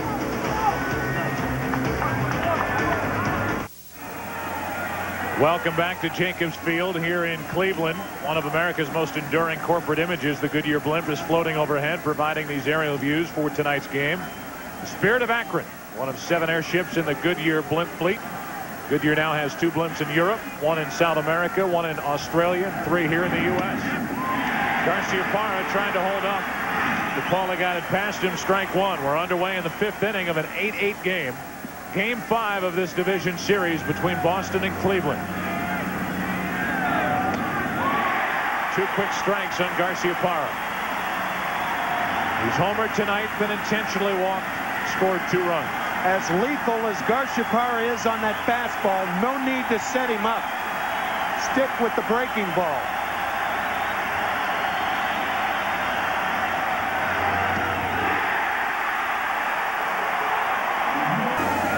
Welcome back to Jacobs Field here in Cleveland. One of America's most enduring corporate images, the Goodyear blimp is floating overhead, providing these aerial views for tonight's game. The Spirit of Akron, one of seven airships in the Goodyear blimp fleet.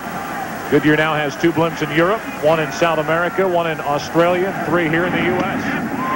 Garcia Parra trying to hold up. DePaula got it past him, strike one. We're underway in the fifth inning of an 8-8 game. Game five of this division series between Boston and Cleveland.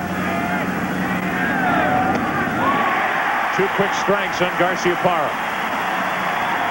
He's homered tonight, been intentionally walked, scored two runs. As lethal as Garciaparra is on that fastball, no need to set him up.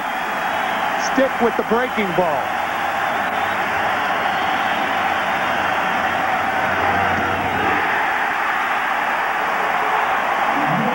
One away.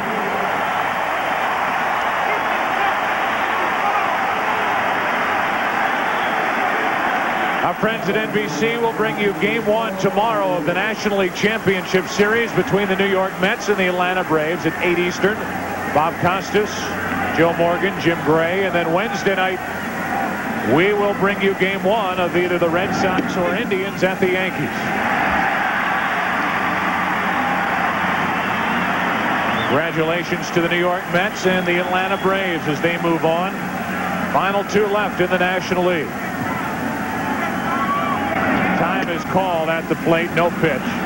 Nothing in one on O'Leary. And Dave Roberts is now in center field for the injured Kenny Lofton.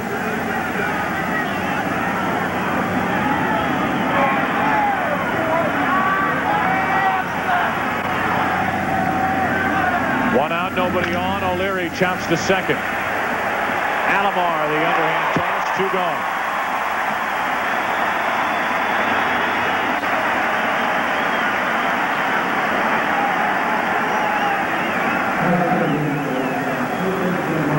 Talk about a disparity in pitchers in the game right now in the decisive game of this best three out of five series. DePaula not only making the minimum, but making the minimum major league salary for a month. For a month. Facing Pedro Martinez, one of the highest paid players in baseball. Making the Fortune 500 minimum. yeah, right. Man. Two balls, no strikes on Stanley.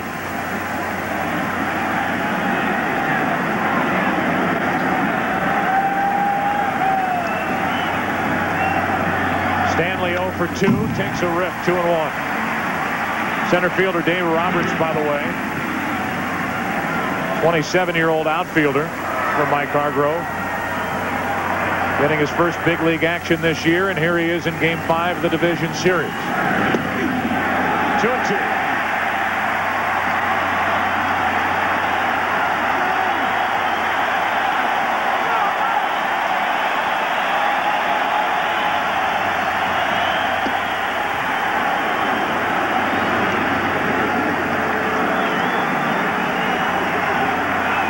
The Red Sox threaten to go in order for just the second time tonight. They won't. A two-out walk. That's the fourth walk handed to the Red Sox this evening. And here is Jason Varitek, who homered last night in Boston. Hit 20 on the regular season, is 0 for 2 tonight. The term go in order may be the strangest term this game could offer.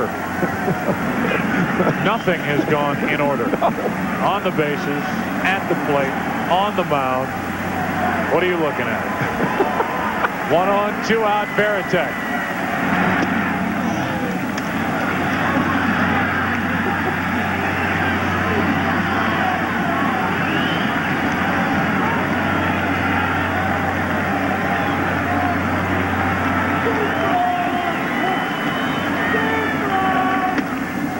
Two and oh.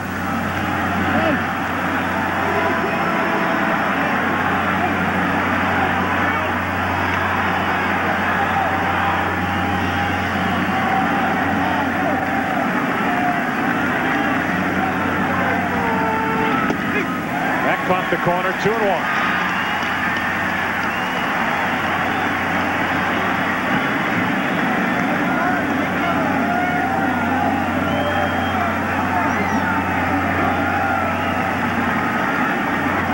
Go ahead run at first with two out here in the fifth. Two and two. Good pitching by DePaula there after the fastball on the outside corner.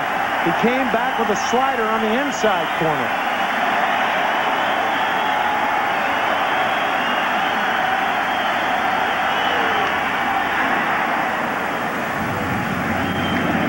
We're only one out away from the halfway point of this game five, but seemingly a mile from the finish line.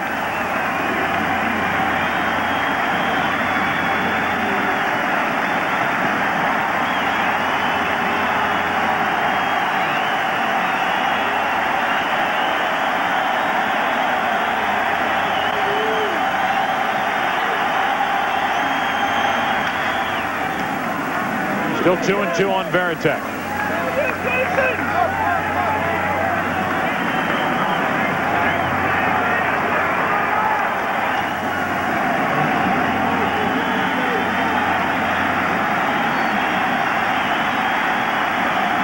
Varitek waiting for a rookie mistake.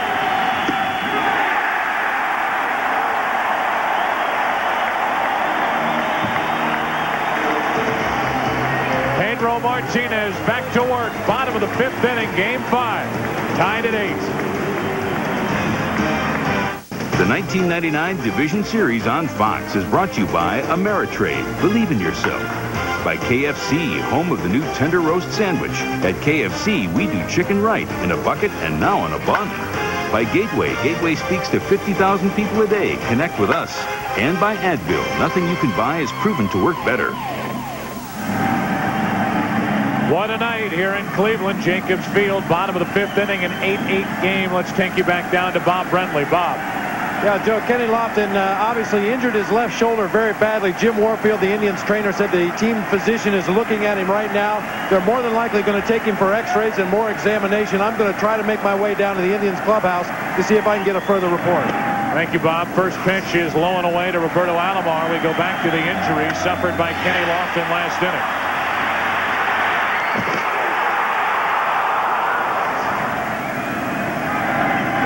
Slide at first base.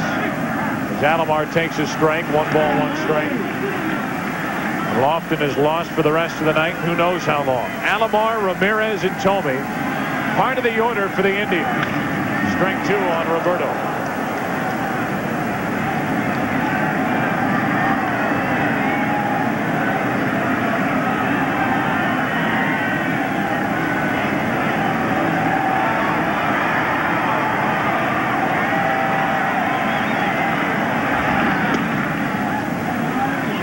Two balls, two strikes.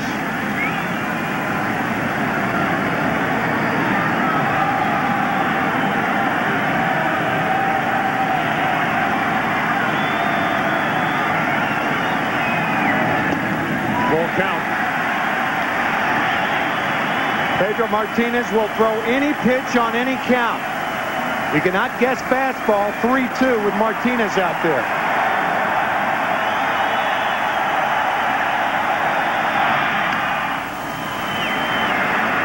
To the shortstop, Garciaparra, one away. 3-2 breaking ball from the right-hander Martinez. That's exactly right, Joe. The breaking ball on the outside part. He may not be throwing as hard, but his unpredictability is the same. Breaking ball, and Alomar grounds out weakly to shortstop. One away, and that's four in a row retired by Pedro Martinez. Manny Ramirez stands in. Finally broke through with an RBI double his last time up. Later a run scored on another home run by Thome. 0-1 from Martinez.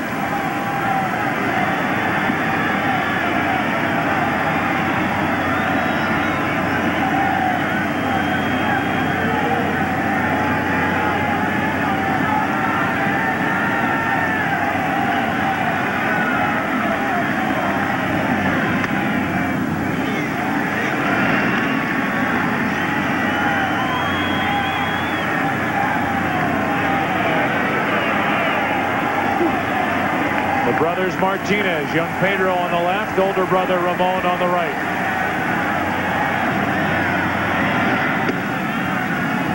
Outside. Two and one on Ramirez. Ramon Martinez, by the way, he started Saturday's game, and he is available tonight if Jimy Williams needs it. The 2-1. That got away behind Ramirez. Crowd doesn't like it, but he's obviously not throwing at him. Ball almost hit the bat. First, it almost hit the left shoulder of Ramirez, and then almost hit Manny's bat.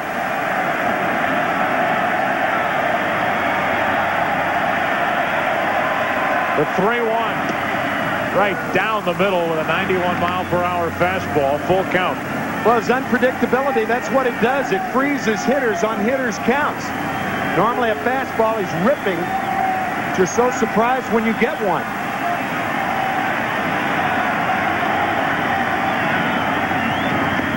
A one-out walk.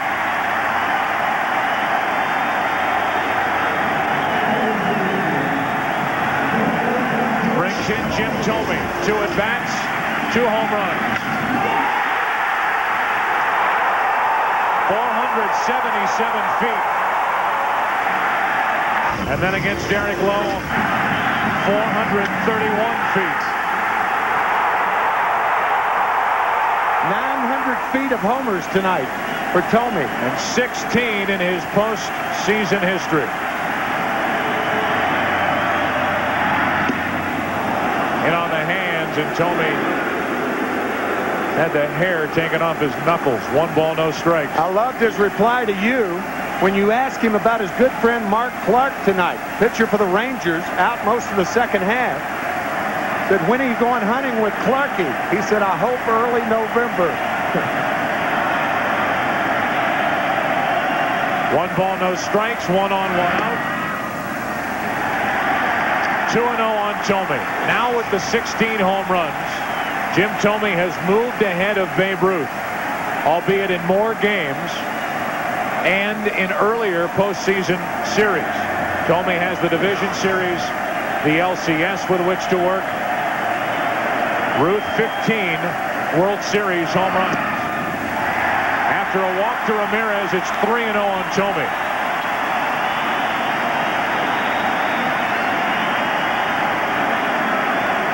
Ruth played in 41 postseason games in his career. Thome is playing in his 50th here tonight. Will he be swinging right here 3-0? I'd have to think so.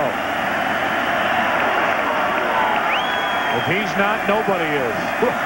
The 3-0. He took it for a strike, 3 and 1. And that was the first time, at least, that I've bothered to look, where Pedro Martinez approached the mid-90s, 93 with that fastball.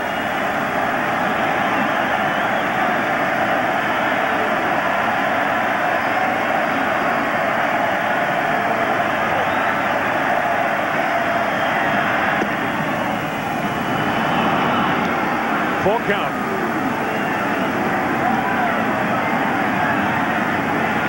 I don't think you send Manny Ramirez here. Jim Thome struck out 171 times this year. Strikeout pitcher against a strikeout hitter. Not a good formula for running. Surprised that they're holding him on. Me too. 3-2 pitch is fouled back. I think Varitek didn't think that Thome fouled the ball. He's out. He did. What is Ramirez doing? What's Thome doing? Well, Thome can't run because Sure. first base is occupied with less than two outs. But what's Ramirez doing? Thome thought he fouled the ball back. Varitek knew he didn't, and Manny Ramirez didn't know what to do. Ramirez took for granted that it was a foul ball. Thome stood there with first base occupied, less than two out, can't run to first. And he clearly swung through it. Varitek missed it. If you're the runner at first base and you see the catcher going after the ball like that, you know he missed the ball. Varitek doesn't need to touch Thome. Thome's automatically out. But what is Manny Ramirez doing? And for that matter, Brian Graham, the first base That's coach. right. Baines, strike one. Brian Graham stood there with his palms to the sky. And Manny Ramirez, who has had a history of problems on the bases, although those have been curtailed for the most part, is standing at first, the go-ahead run with two out in the inning instead of down at second on the strikeout by Thome. You can say that you thought Thome fouled the ball, but the minute you see Varitek running as hard as he was after the ball, you take off for second. If it's a foul ball, they bring you back.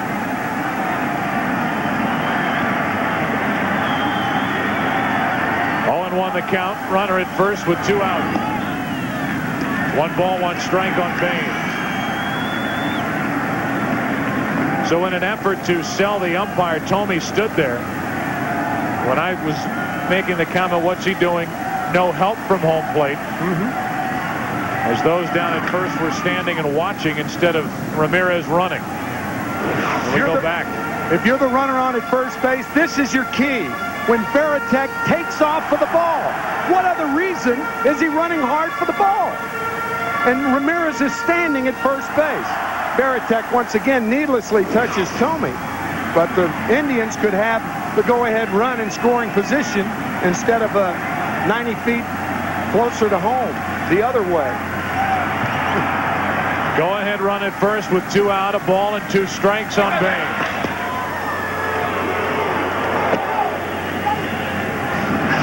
Here's another situation. Baines at the plate, a left-handed batter. Ramirez, who stole two bases all year, has yet to steal one this postseason. But they hold against the runner and open up the right side of the infield. One ball, two strikes. Baines took strike three right down the middle. And Pedro Martinez has now thrown two scoreless innings here in game five. We're through inning number five. Sixth inning now in an 8-8 game. 1999 Division Series on Fox is brought to you by Visa. It's everywhere you want to be. Jacobs Field down below and Action Central 8-8 after five. Sixth inning now and Darren Lewis leads off and takes a strike poured in from DePaula. Lewis is doubled. And after a wild series of base running mistakes, eventually scored the tying run in the fourth inning on a sac fly by Valentin. The 0-1.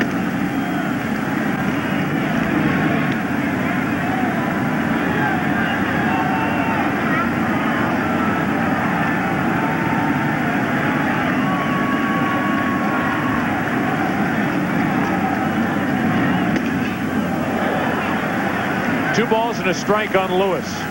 What you have to do against Darren Lewis is you sandwich the right side of the field. The second baseman plays deep. The right fielder plays shallow. First baseman deep to try to cut off that little area in right field. That's where Lewis usually hits the ball. As a matter of fact, three of the six hits that he has in this series have been in that little area behind Alomar and in front of Ramirez. As you look at Paul Shuey warming for the Indians. Three balls and a strike on Lewis. The number eight hitter leading off. Full count. Trot Nixon, who has been a weapon for these Red Sox in this series with six RBIs, waits on deck.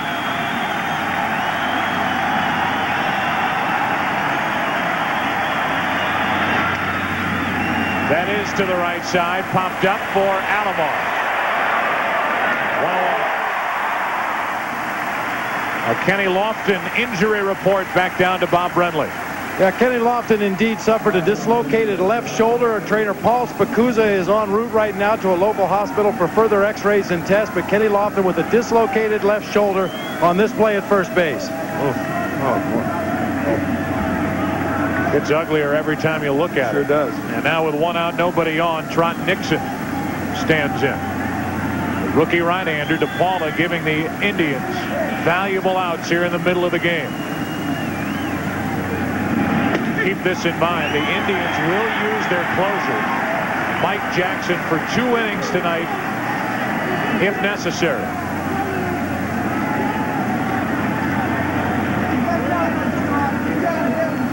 Oh and one the count. One and one on Nixon. Trot has walked and scored and fly to center. 15 home runs during his first full season in the big leagues.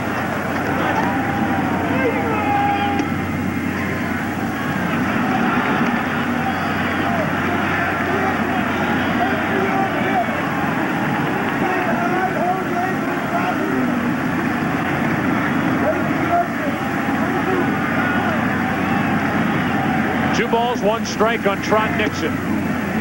And now three and one as John Shulock does not give DePaula the inside corner. Joe, I think your point a couple of innings ago was well taken. And that regardless of who wins tonight, the torn and tattered remnants of pitching staffs are going to show up at Yankee Stadium on Wednesday night. Nixon pops it into center. Roberts waiting for it. Place of the injured Lofton. Two out. Friday, catch the most original police drama in years on the series premiere of Ryan Caulfield, Year One. Then the creator of The X-Files brings you the ultimate mind game, Harsh Realm. It all starts Friday at 8 Eastern, 7 Central, here on Fox. Friday night. Two out bases empty for Jose Offerman. He's grounded out, singled, walked.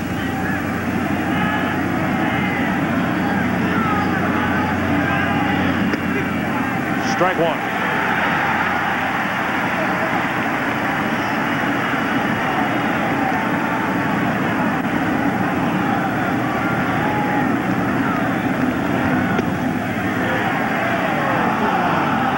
One ball, one strike.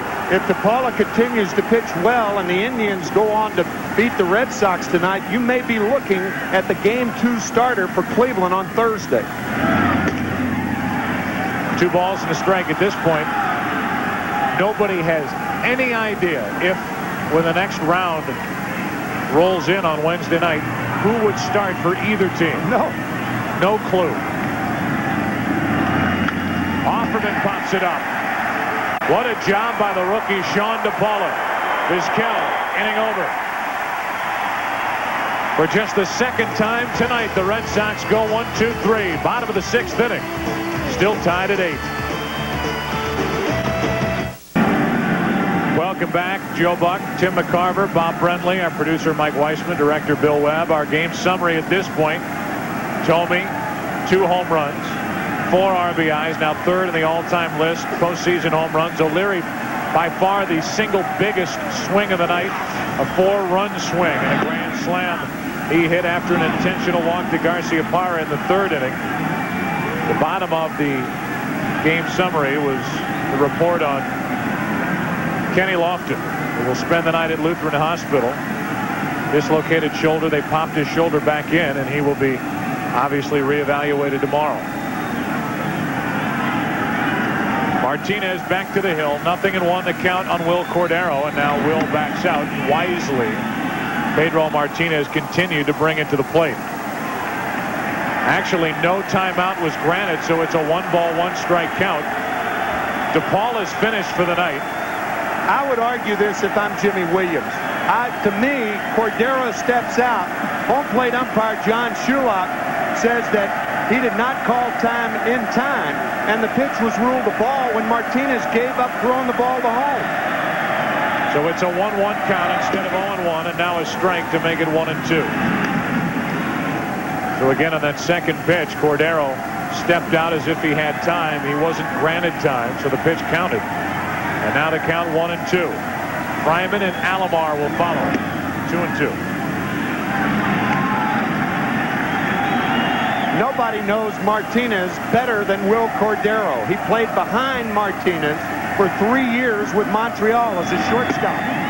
Doesn't know him well enough. Swing and a miss. Goodbye. That's three consecutive strikeouts for Pedro Martinez.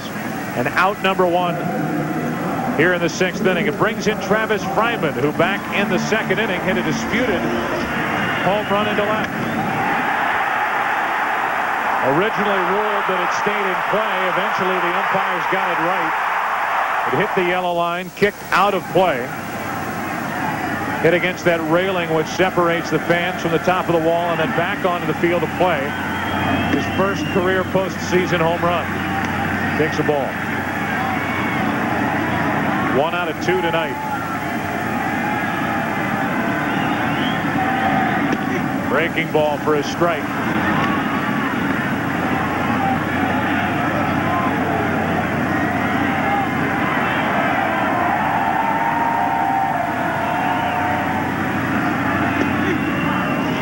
Changeup for strike two. There is such violence in that changeup that Martinez throws. It's the same arm motion as the fastball.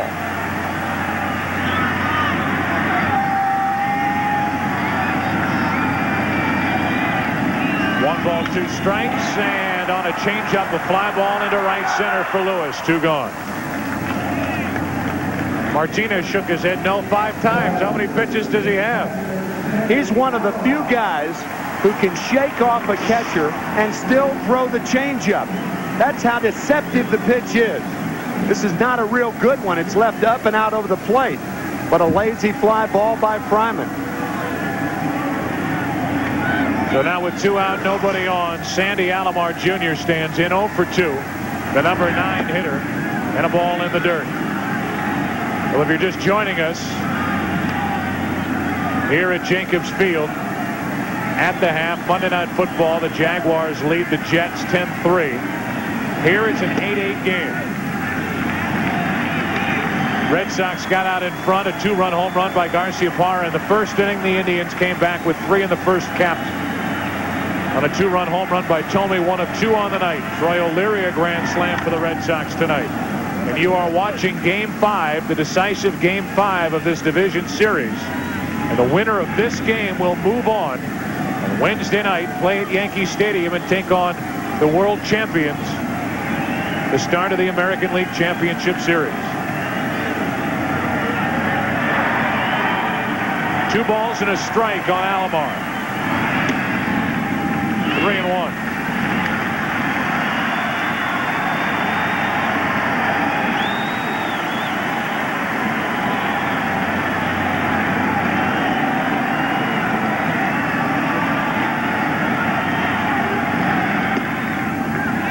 A two-out walk.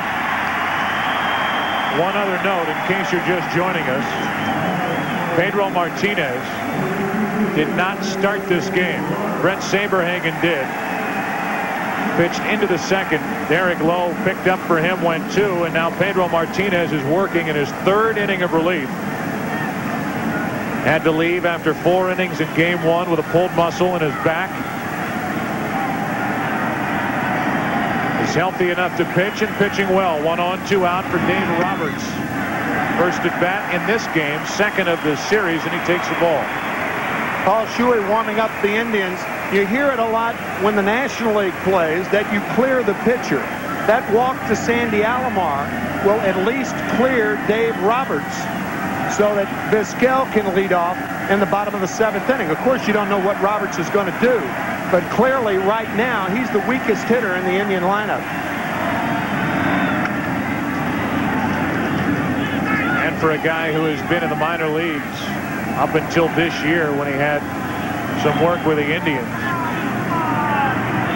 27-year-old outfielder is at a distinct disadvantage facing Pedro Martinez. One on, two out. And fastball misses for ball two. A 92 mile an hour fastball. He's reached 95 a couple of times, as you pointed out, Joe.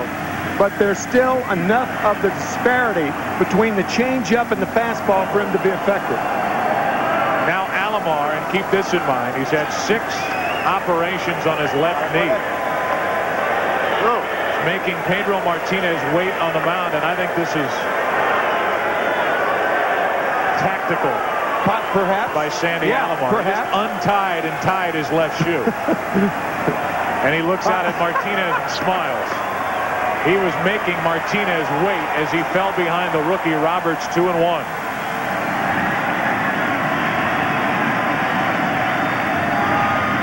Now three and one with Vizquel next. That's a bad pitch right there. It's okay to throw breaking balls and changeups behind a guy, but if there's anybody you can challenge, it's the center fielder that replaced Lofton.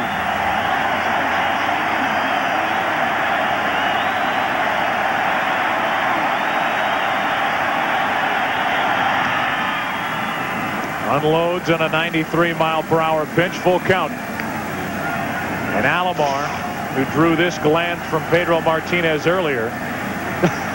oh, Joe, that was great. You picked up on that. That was super. He said, nah, forget all that stuff. Alomar will be off and running with his pitch. Who do you think you're dealing with, right? The best in the business right now, Pedro Martinez, the 3-2 to Roberts.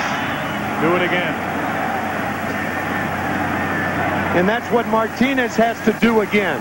Throw the fastball. Time to finesse, time to challenge right now is if you can hit my fastball, I don't care how hard it is, 89, 90, 91, 92, 95, you're going to have to hit it. 55 pitches so far for Martinez. Runner goes, 3-2, inning over. Pedro Martinez, his fourth strikeout as he hits 94 miles per hour. Still tied after six. Back to Jacobs Field after this from your local Fox station.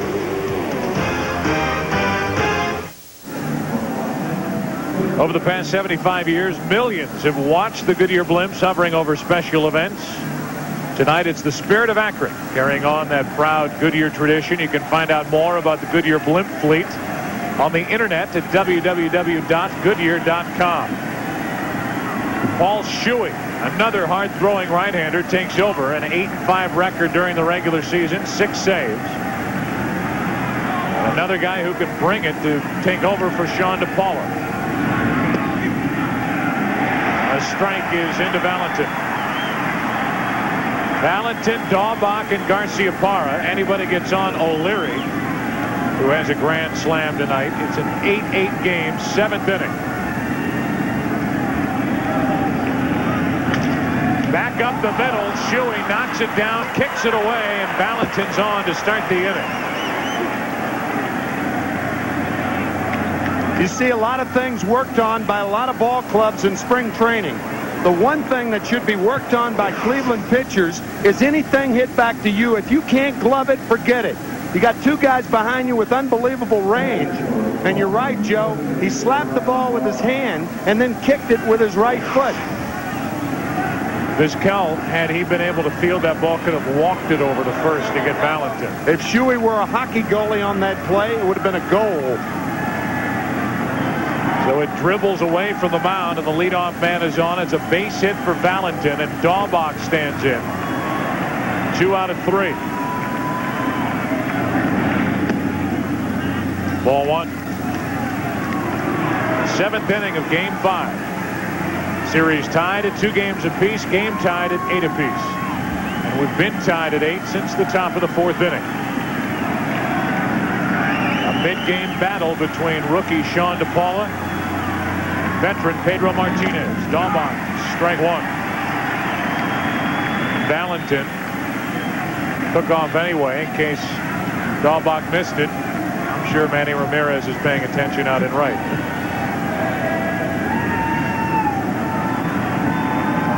Thinking bunt right here, we'll forget about it. If you bunt the if you bunt Valentin over to second base, and that's obviously the reason Jimy Williams, not only that you have a power hitter up there, you're going to walk Garciaparra anyway. Give your best hitter, far and away your best hitter, every chance to hit. Chased it 97 miles per hour from Shuey. Strike two. An eye-high fastball. If you put that ball in play, you're only going to pop it up or foul it back.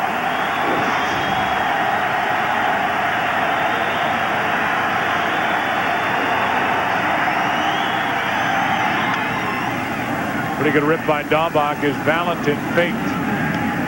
Made a bluff over at first as if he was going to run. Garciaparra waits to bat next.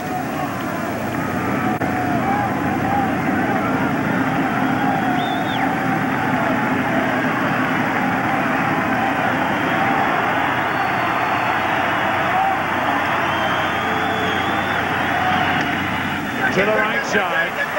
Alomar will flip. That's a Thome for the out. The put out 4-3 down to second. The go-ahead run. Valentin one away. Let's talk about range again for a second baseman. He's gone to his right twice tonight and now to his left. And watch the backhanded flip to Thome.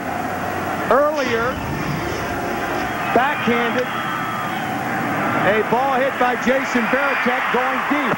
And to end the inning, he goes shallow for the speedier Lewis to get Darren on a play. He's all over the place. You don't even need a first baseman with him on the right side. just to catch his throw. Yeah, just to catch his throw. That's the only reason. Now time called, and we'll have another decision to be made. Do you walk Garciaparra? They tried this two at-bats ago for Nomar. They intentionally walked Garciaparra, and Troy O'Leary bombed a grand slam into right center field. There's more reason to walk him now than there was earlier, in my view.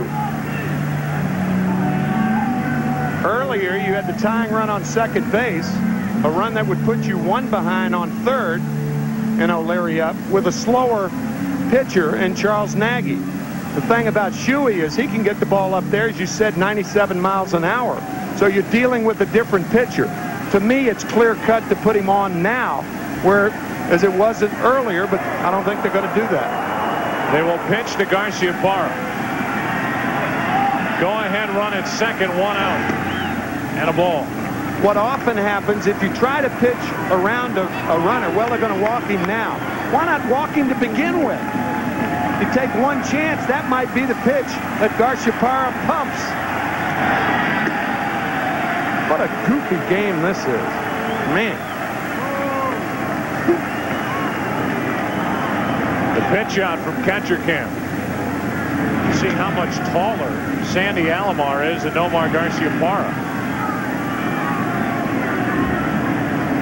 High level for Alomar is over the head of Garciaparra, who takes his second intentional walk of the night. It brings in Troy O'Leary.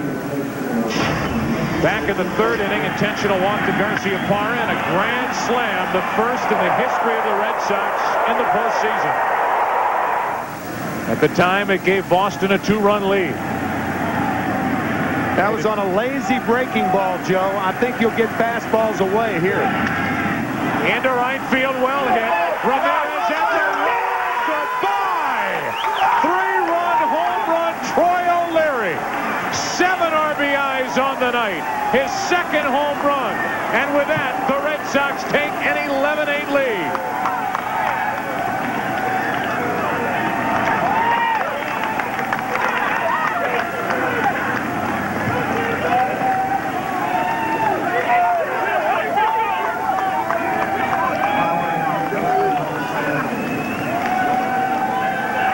How to make 45,000 people deadly, eerily quiet.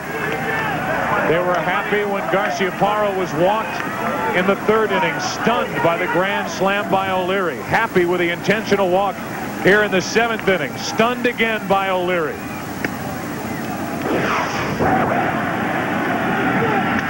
It looked like a fastball from Shuey right down the pipe, but not for long. And after Valentin drove in seven last night, O'Leary knocks home seven in game five.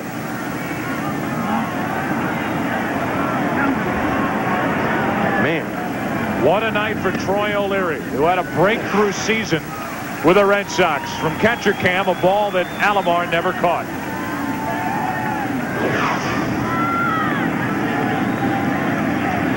One out, nobody on, and Stanley strikes out, two away.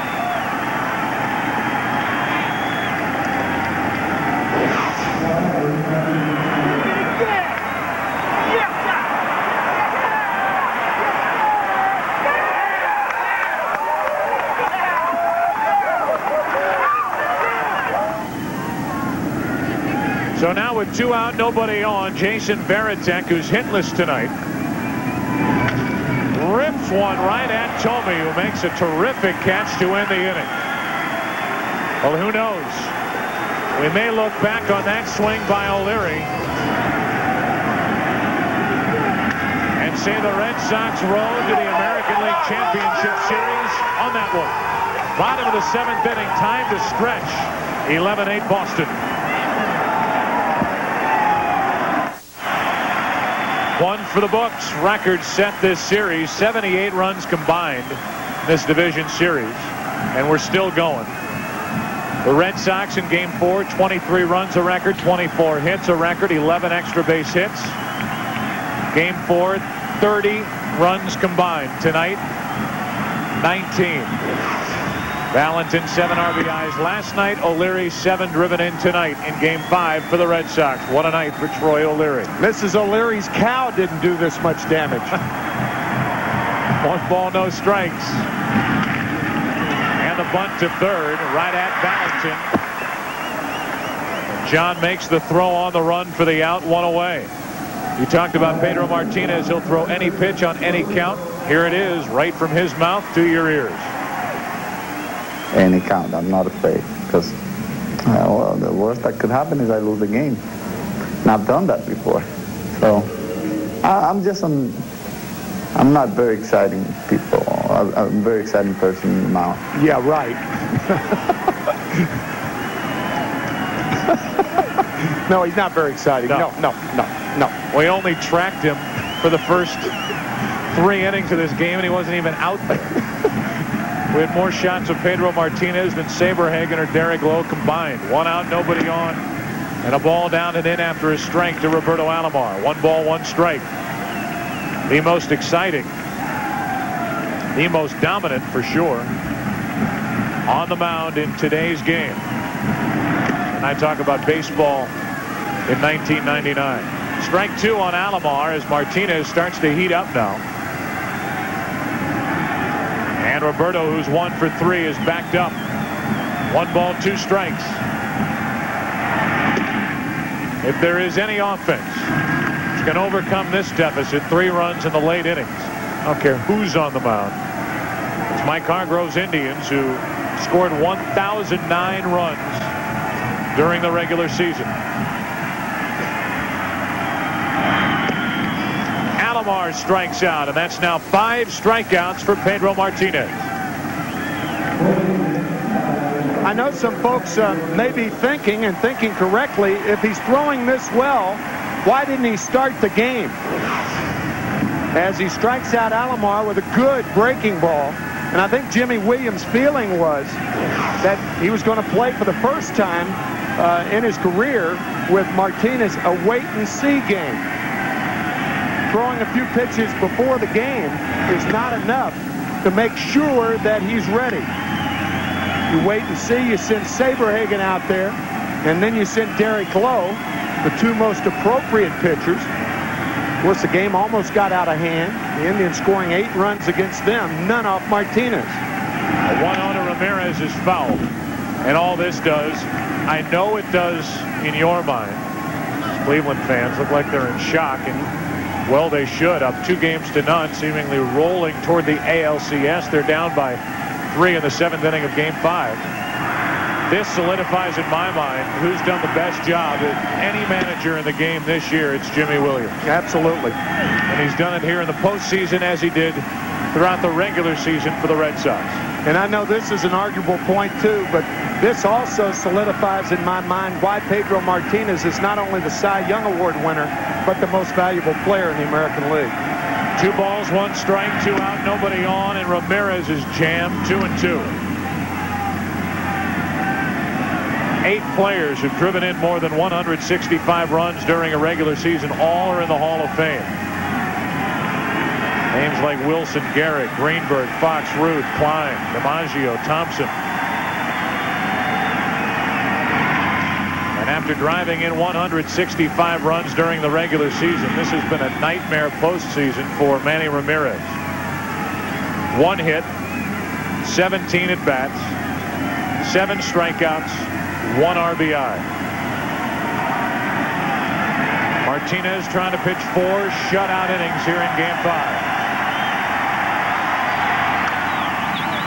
Still three and two on Ramirez. Mays never knocked in 165.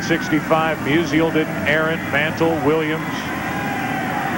Manny Ramirez did it this year, but that is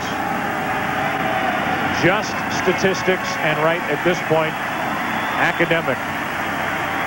For Ramirez, the Indians, and their fans. Three balls, two strikes. two out, nobody on. Seventh inning. Inning over. Pedro Martinez strikes out six. He has worked four innings. And the Red Sox six outs away from the ALCS.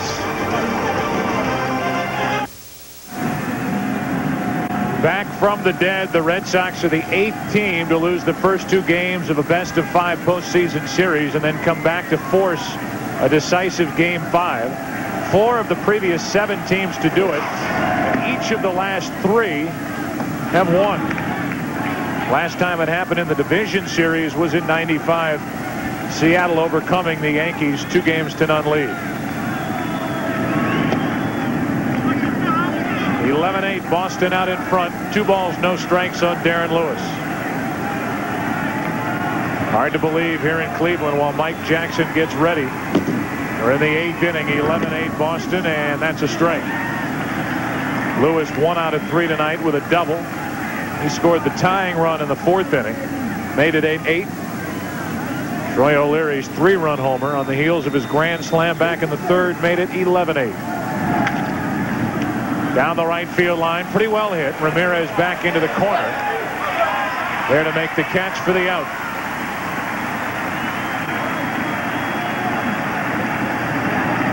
One down here in the eighth inning. Don't forget, watch game three of the American League Championship Series here on Fox. The $1 million Gillette Strike Zone Challenge. One out, nobody on. The number nine hitter, Trot Nixon, oh over 2 with a walk and a run scored. Digs in against Shuey. Strike one.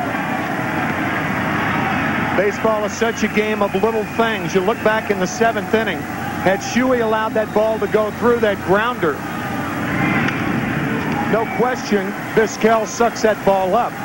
And then you have an out made by Daubach. You have two outs and nobody on with Garciaparra coming up there. Obviously, you pitch to him. It doesn't set the scene for a guy like O'Leary. Big hits get all the headlines. Little things win games. One ball, two strikes on Nixon, and some big things are in the future for these Cleveland Indians. The team is up for sale. Got a team that had high hopes coming into the postseason. We are a long way away from the end of this one. This team is up for sale, and you have to make some decisions. When the new owners come in, whoever they may be, what kind of a payroll are you working with? You've got a guy in Manny Ramirez who is a free agent after next season. Here it's said about Griffey, Alex Rodriguez, Shawn Green, Carlos Delgado. Add Manny Ramirez to the list. Potential free agents after next year, and you're not going to sign him to a contract that might be $20 million a year. Well, this offseason, maybe is the time to trade him. Those are decisions that face these Indians. Two balls, two strikes, one out, nobody on. Nixon strikes out, two out.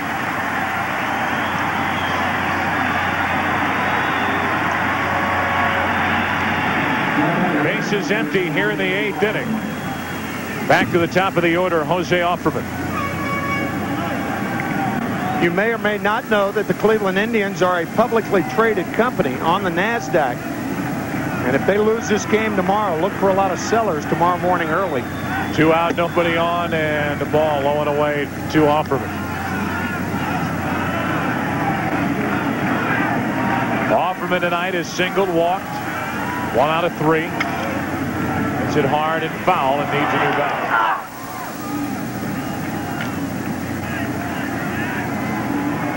You were talking about Pedro Martinez and why he could be not only the Cy Young, but MVP as well.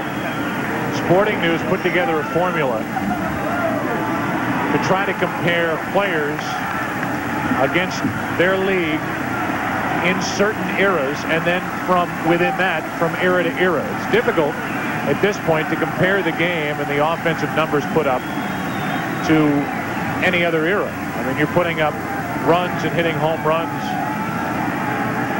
at an incredible pace in the late 90s as we approach the new millennium. One ball, one strike. Offerman flies to center. Roberts there to put it away a one, two, three inning. When Pedro Martinez goes back to the mound. We'll finish the argument to why we feel he should be the MVP. The 1999 Division Series on Fox is brought to you by Chevrolet Trucks, the most dependable, longest-lasting trucks on the road. By Bud Light, with a great taste that won't fill you up and never lets you down, make it a Bud Light. By Gillette Mach 3, the first triple blade razor. And by Intel's Web Outfitter service for Pentium 3 processor owners. Free at Intel.com. We welcome you back to Jacobs Field. We continue to talk about Pedro Martinez, who has yet to allow a hit since entering in the fourth inning. This season, when you compare his ERA to American League starters average at 5.05, it's even more drastic than comparing it to the league average ERA of 4.86. Strikeouts per nine innings. Opponents average, they hit only 205 against Martinez this season. You can argue this all day long. Many people feel that a pitcher should never win an MVP award. That's why they have Cy Young awards. But there have been exceptions, and this, in our estimation, should be another exception to that rule as Martinez hits for strike one. One ball, one strike on Thome with Baines and Cordero to follow. Eighth inning, 11-8 Boston. On a changeup, Thome comes up empty, one and two.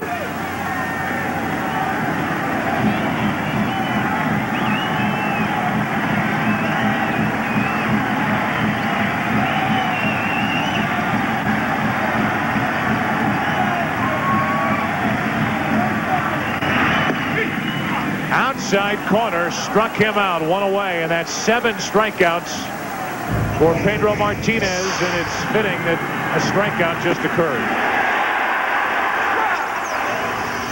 One remarkable number after another. Strikeouts per nine innings this year. The highest ever per nine innings for a starting pitcher. And look at the company. Johnson, Nolan Ryan, Sandy Koufax, Bob Feller. Harold Baines takes a ball low and away. One out, nobody on. That's three consecutive strikeouts now for Pedro Martinez. Baines is 0 for 3 tonight. A 1-0. 2-0. Sporting News ranking individual seasons throughout baseball history. Babe Ruth's 1921 season is the greatest season, according to the Sporting News, in the history of this game by any one individual player. The age of 26, 1921, while playing for the Yankees, calling the Polo Grounds home. He hit 59 home runs, drove in 171 runs. Baines, 2 and 2. 59 home runs, Tim, 12.4 percent of all the home runs hit in the American League. And to match that in 1999, a player would have had to hit 327 home runs. oh, man. Wonderful. Two balls, two strikes, one out, nobody on. Baines took it down and in, full count. And the Indians look for any spark for some life here in the eighth inning.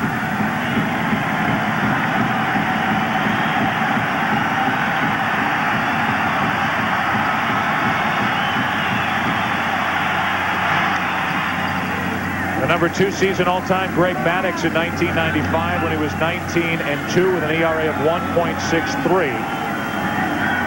2.55 runs better than the league average. And the number three all-time season position player pitcher Pedro Martinez and what he did in 1999. He issues a one-out walk to Harold Baines.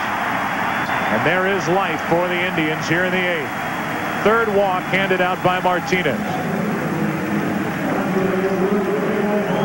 Keep in mind the Cleveland Indians with the best lineup in baseball, scoring 1,009 runs this year, the most runs scored by a team since the 1950 Red Sox.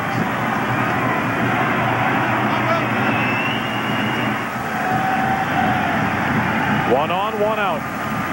Wil Cordero takes a strike. 49 come from behind victories this season, most in the American League, and they had to come from behind victory in game one of this division series here against the Red Sox. Cordero with a 0-1 count. To third, Valentin will make the play at second for the second out. And these Indian fans who are as loud and as involved in the game as any ballpark we visit. Absolutely. Hoping for another base runner to bring up the tying run. Tomorrow, 8 Eastern, Mets and Braves. Bob Costas, Joe Morgan, Jim Gray. The NLCS will get underway tomorrow night, and then we'll be back at you on Wednesday night, 8 Eastern, either the Red Sox or the Indians at Yankee Stadium. One on, two out. And a strike over the outside corner to Fryman.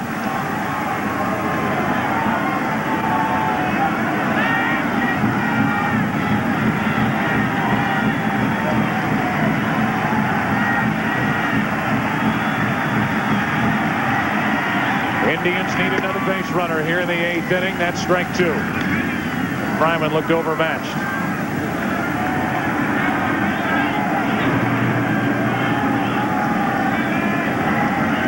No hits in four and two-thirds innings for Martinez. Seven strikeouts, three walks.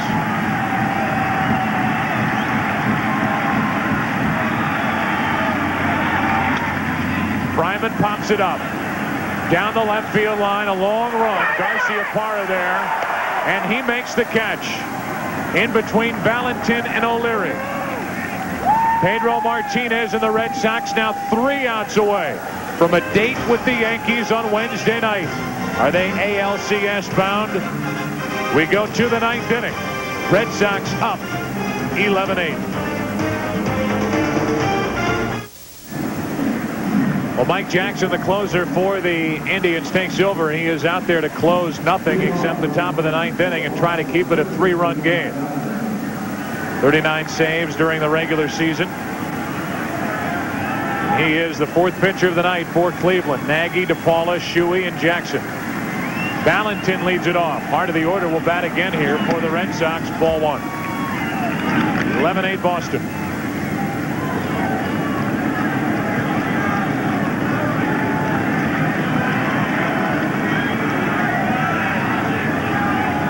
Daubach and Garciaparra will follow. One ball, one strike on Valentin.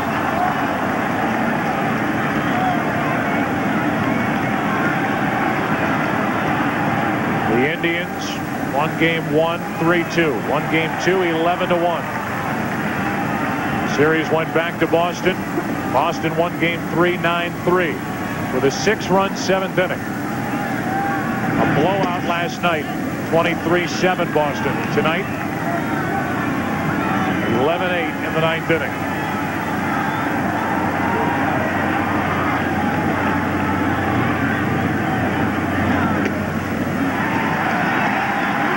Two strikes on Valentin. Boston Red Sox, who hope to advance to the next round of the playoffs. Valentin flies to center, and Roberts makes the catch. It's been well documented. It's been worn out. It's been beat up. But we will bring it up again. Since the Red Sox last World Series title, a World Series in which Babe Ruth pitching won two games.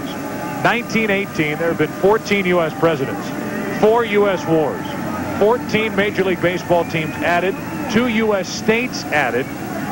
Babe Ruth's salary in 1918, $7,000. Price of a ticket at Fenway, 50 cents. And for our demographic, Prince has changed his name three times since the Red Sox last won the World Series. Interesting uh, to add to that Babe Ruth making $7,000 in 1918. At Pedro Martinez's, as you see the left-hander Rheal Cormier, Ramon Martinez, and Rod Beck, they've got three guys up in the bullpen. What's going on? I've never, you know, I haven't seen this in 30 years. Three guys going. They're recruiting guys to catch out there. Got to use somebody else's bullpen to do that. One ball, one strike on Daubach, and that's down the left field line and fair. Into the corner. Daubach thinking double. And it is a double for Brian Daubach to put a runner in scoring position for Garciaparra or O'Leary. No, it's not going to happen again, With one out here in the ninth inning. Come on, they're not going to walk Garciaparra again, huh? They're almost shamed into pitching to him. That's here. right. Now the crowd will say pitch to him this time. Daubach lifted for a pinch runner. So his night is finished, a three-hit night. Donnie Sadler, the pinch runner, at second base.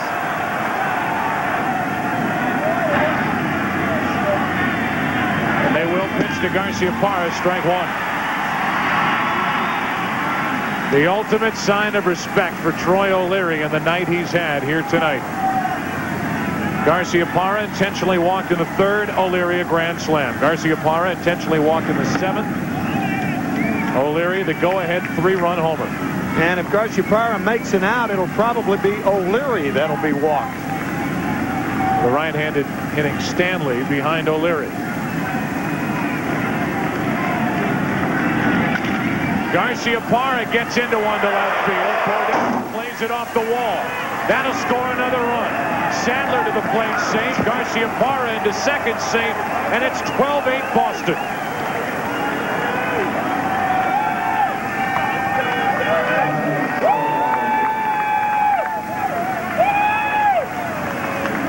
Forty-four runs scored by the Red Sox in the last three games. And now they will indeed walk O'Leary with Stanley to follow, and it's O'Leary's turn to get the intentional pass. And they are going wacky in Beantown. You can hear them all the way here in Cleveland. As Garciaparra showed why they walked him intentionally earlier, as though he had to show it, right? Garciaparra, who led the American League with his average of 357, is huffing and puffing down at second base as O'Leary probably tries to conceal a smile as he gets the intentional walk. And Joe, to sew up that point about Babe Ruth making $7,000, we figured it out today at Pedro Martinez's current salary, 3,200 plus pitches thrown this year. He makes more than $7,000 every two pitches he throws. Well, he's worth it tonight and worth it for the Red Sox in 1999. Two on, one out. Stanley. Strike one. Go down to Bob Brenly on the Red Sox side. Well, as Nomar Garciaparra made his way up to the plate, several players on the Red Sox bench said, go ahead, walk him again. But obviously, that was not the case. He doubled home a run, the intentional walk to O'Leary, and Stanley takes a strike. He's in the hole 0-2. Well, three guys warming up down in the bullpen. I wonder, Bob Brenly, if you think Pedro Martinez will trot back out there for the ninth inning as Stanley strikes out two out. What do you think, Joe, Pedro? Martinez is still in the first base dugout for the uh, Red Sox. As you know, three guys warming up in the bullpen. There's been no indication by Joe Kerrigan or Jimy Williams whether Pedro will take the mound once again in the bottom of the ninth inning. We mentioned Ramon Martinez is getting loose out in the bullpen. He could very well start game one of the ALCS. Right. I'd be awfully hesitant to bring him into a four-run game in the ninth inning. Somebody's got to start game one. If they get there. A four-run lead in the ninth inning. Two on, two out. Varitek took a strike.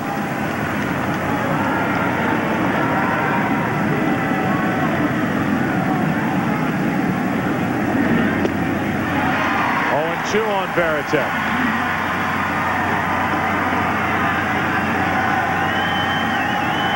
Red Sox leading by four, looking for more.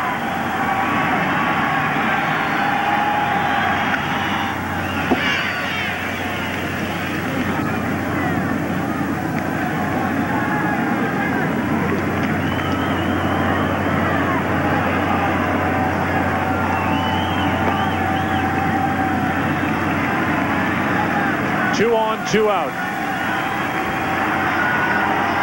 Varitek took a ball.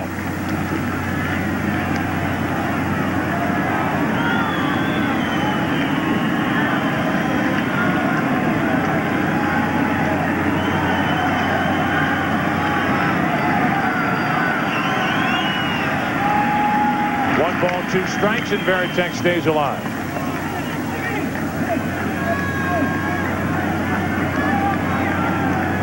Everybody came in talking about the possibility of Pedro Martinez appearing in this game. He ended up taking over in the fourth inning. He has not allowed a hit. We're in the ninth. Varitek another foul. 12-8 Boston lead.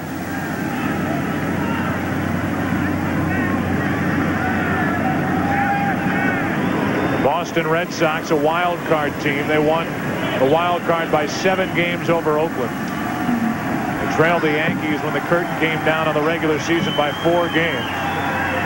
It could be Boston, New York in the ALCS. The 1-2 to Varitek is grounded to Alomar. The flip for the out. And here we go into the bottom of the ninth inning. Martinez has thrown 86 pitches. He wants more. The Red Sox want more. They want three more outs for a trip to the American League Championship Series.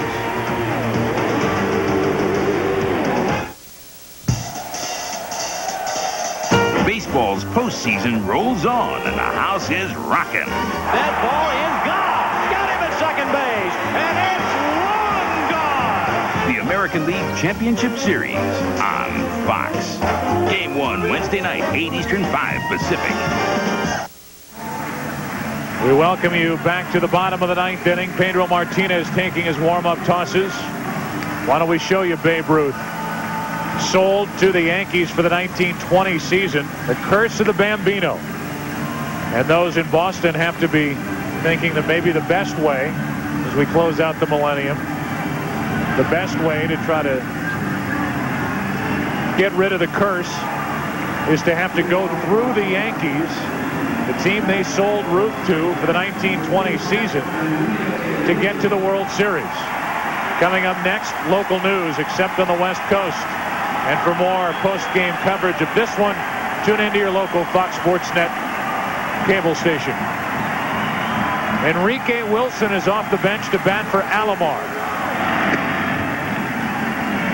And he takes the ball. It'll be Enrique Wilson then Roberts, who is at least in the on-deck circle, and then Vizquel. One ball, one strike. 88 pitches for Pedro Martinez. Would you run him back out there for the ninth inning? Yes, I would. Yep. I take no I take no chances right now. Particularly uh, throwing only 86 pitches. Richie Sexson waits on on the bench with 116 RBIs. So does David Justice.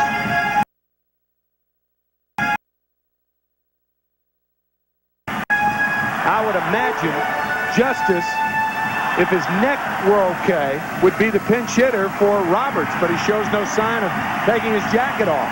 The 2-1 to the left side. Garcia Parra in the hole. Fires. Got it. What a play. Nomar Garcia Parra in the hole takes a leadoff hit away from Enrique Wilson. Jimy Williams telling us before the game that as much as any play on the infield, Garciaparra works on this play. Going to his right, throwing back across his body with that whip-like motion, that light strength of that right arm. I mean, he has a cannon, too. And now with one out, nobody on, Dave Roberts is at the plate. I don't understand that. You've got Richie Sexson over there. Yeah. I mean, at least Richie Sexson. If you're not going to use Dave Justice, you got to use Richie Sexson, don't you? 116 RBIs. The 0-1. Crowd wanted Roberts to take one off the shoe tops.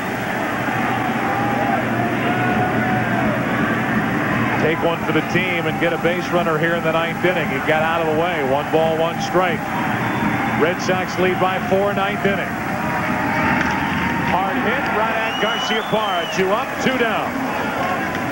And the Red Sox are one out away from their first American League Championship Series since 1990.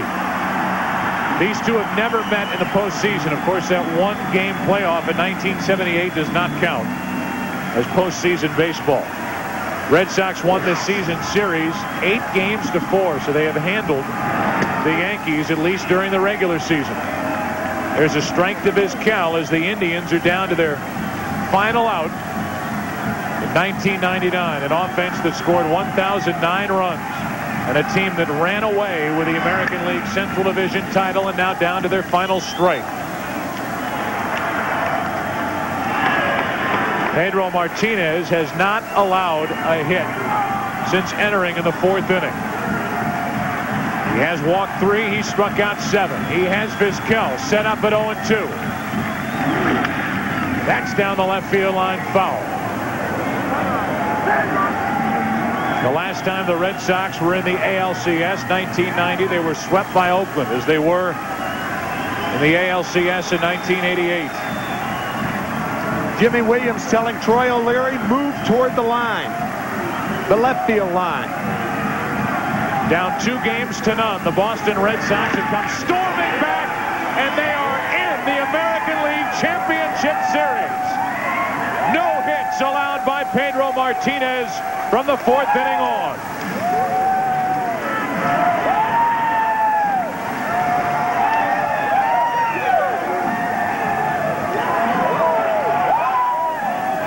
Jimy Williams allowing the players to celebrate. First manager that I saw do that was Tom Kelly with the 1987 world champion Minnesota Twins. Red Sox and their fans hoping that this year they can change the curse into the purse. So the Cleveland Indians up two games to none. It's been a 51-year drought for the Indians. They last won a world championship in 1948. They are out, and the Red Sox move on and will face the Yankees on Wednesday night in New York. A remarkable, remarkable come-from-behind victory in this series for Jimy Williams and the Boston Red Sox. A scrappier crew you will never find on a big league baseball diamond. An upset victory for the Red Sox in this division series. And let's take you down to Bob Brenly. Bob? Thank you, Joe. Standing by with Troy O'Leary. Troy, I know you want to go celebrate with your teammates, but what an outstanding performance when all the marbles are on the line. It was a tough game tonight. Uh, Pedro did a great, great job.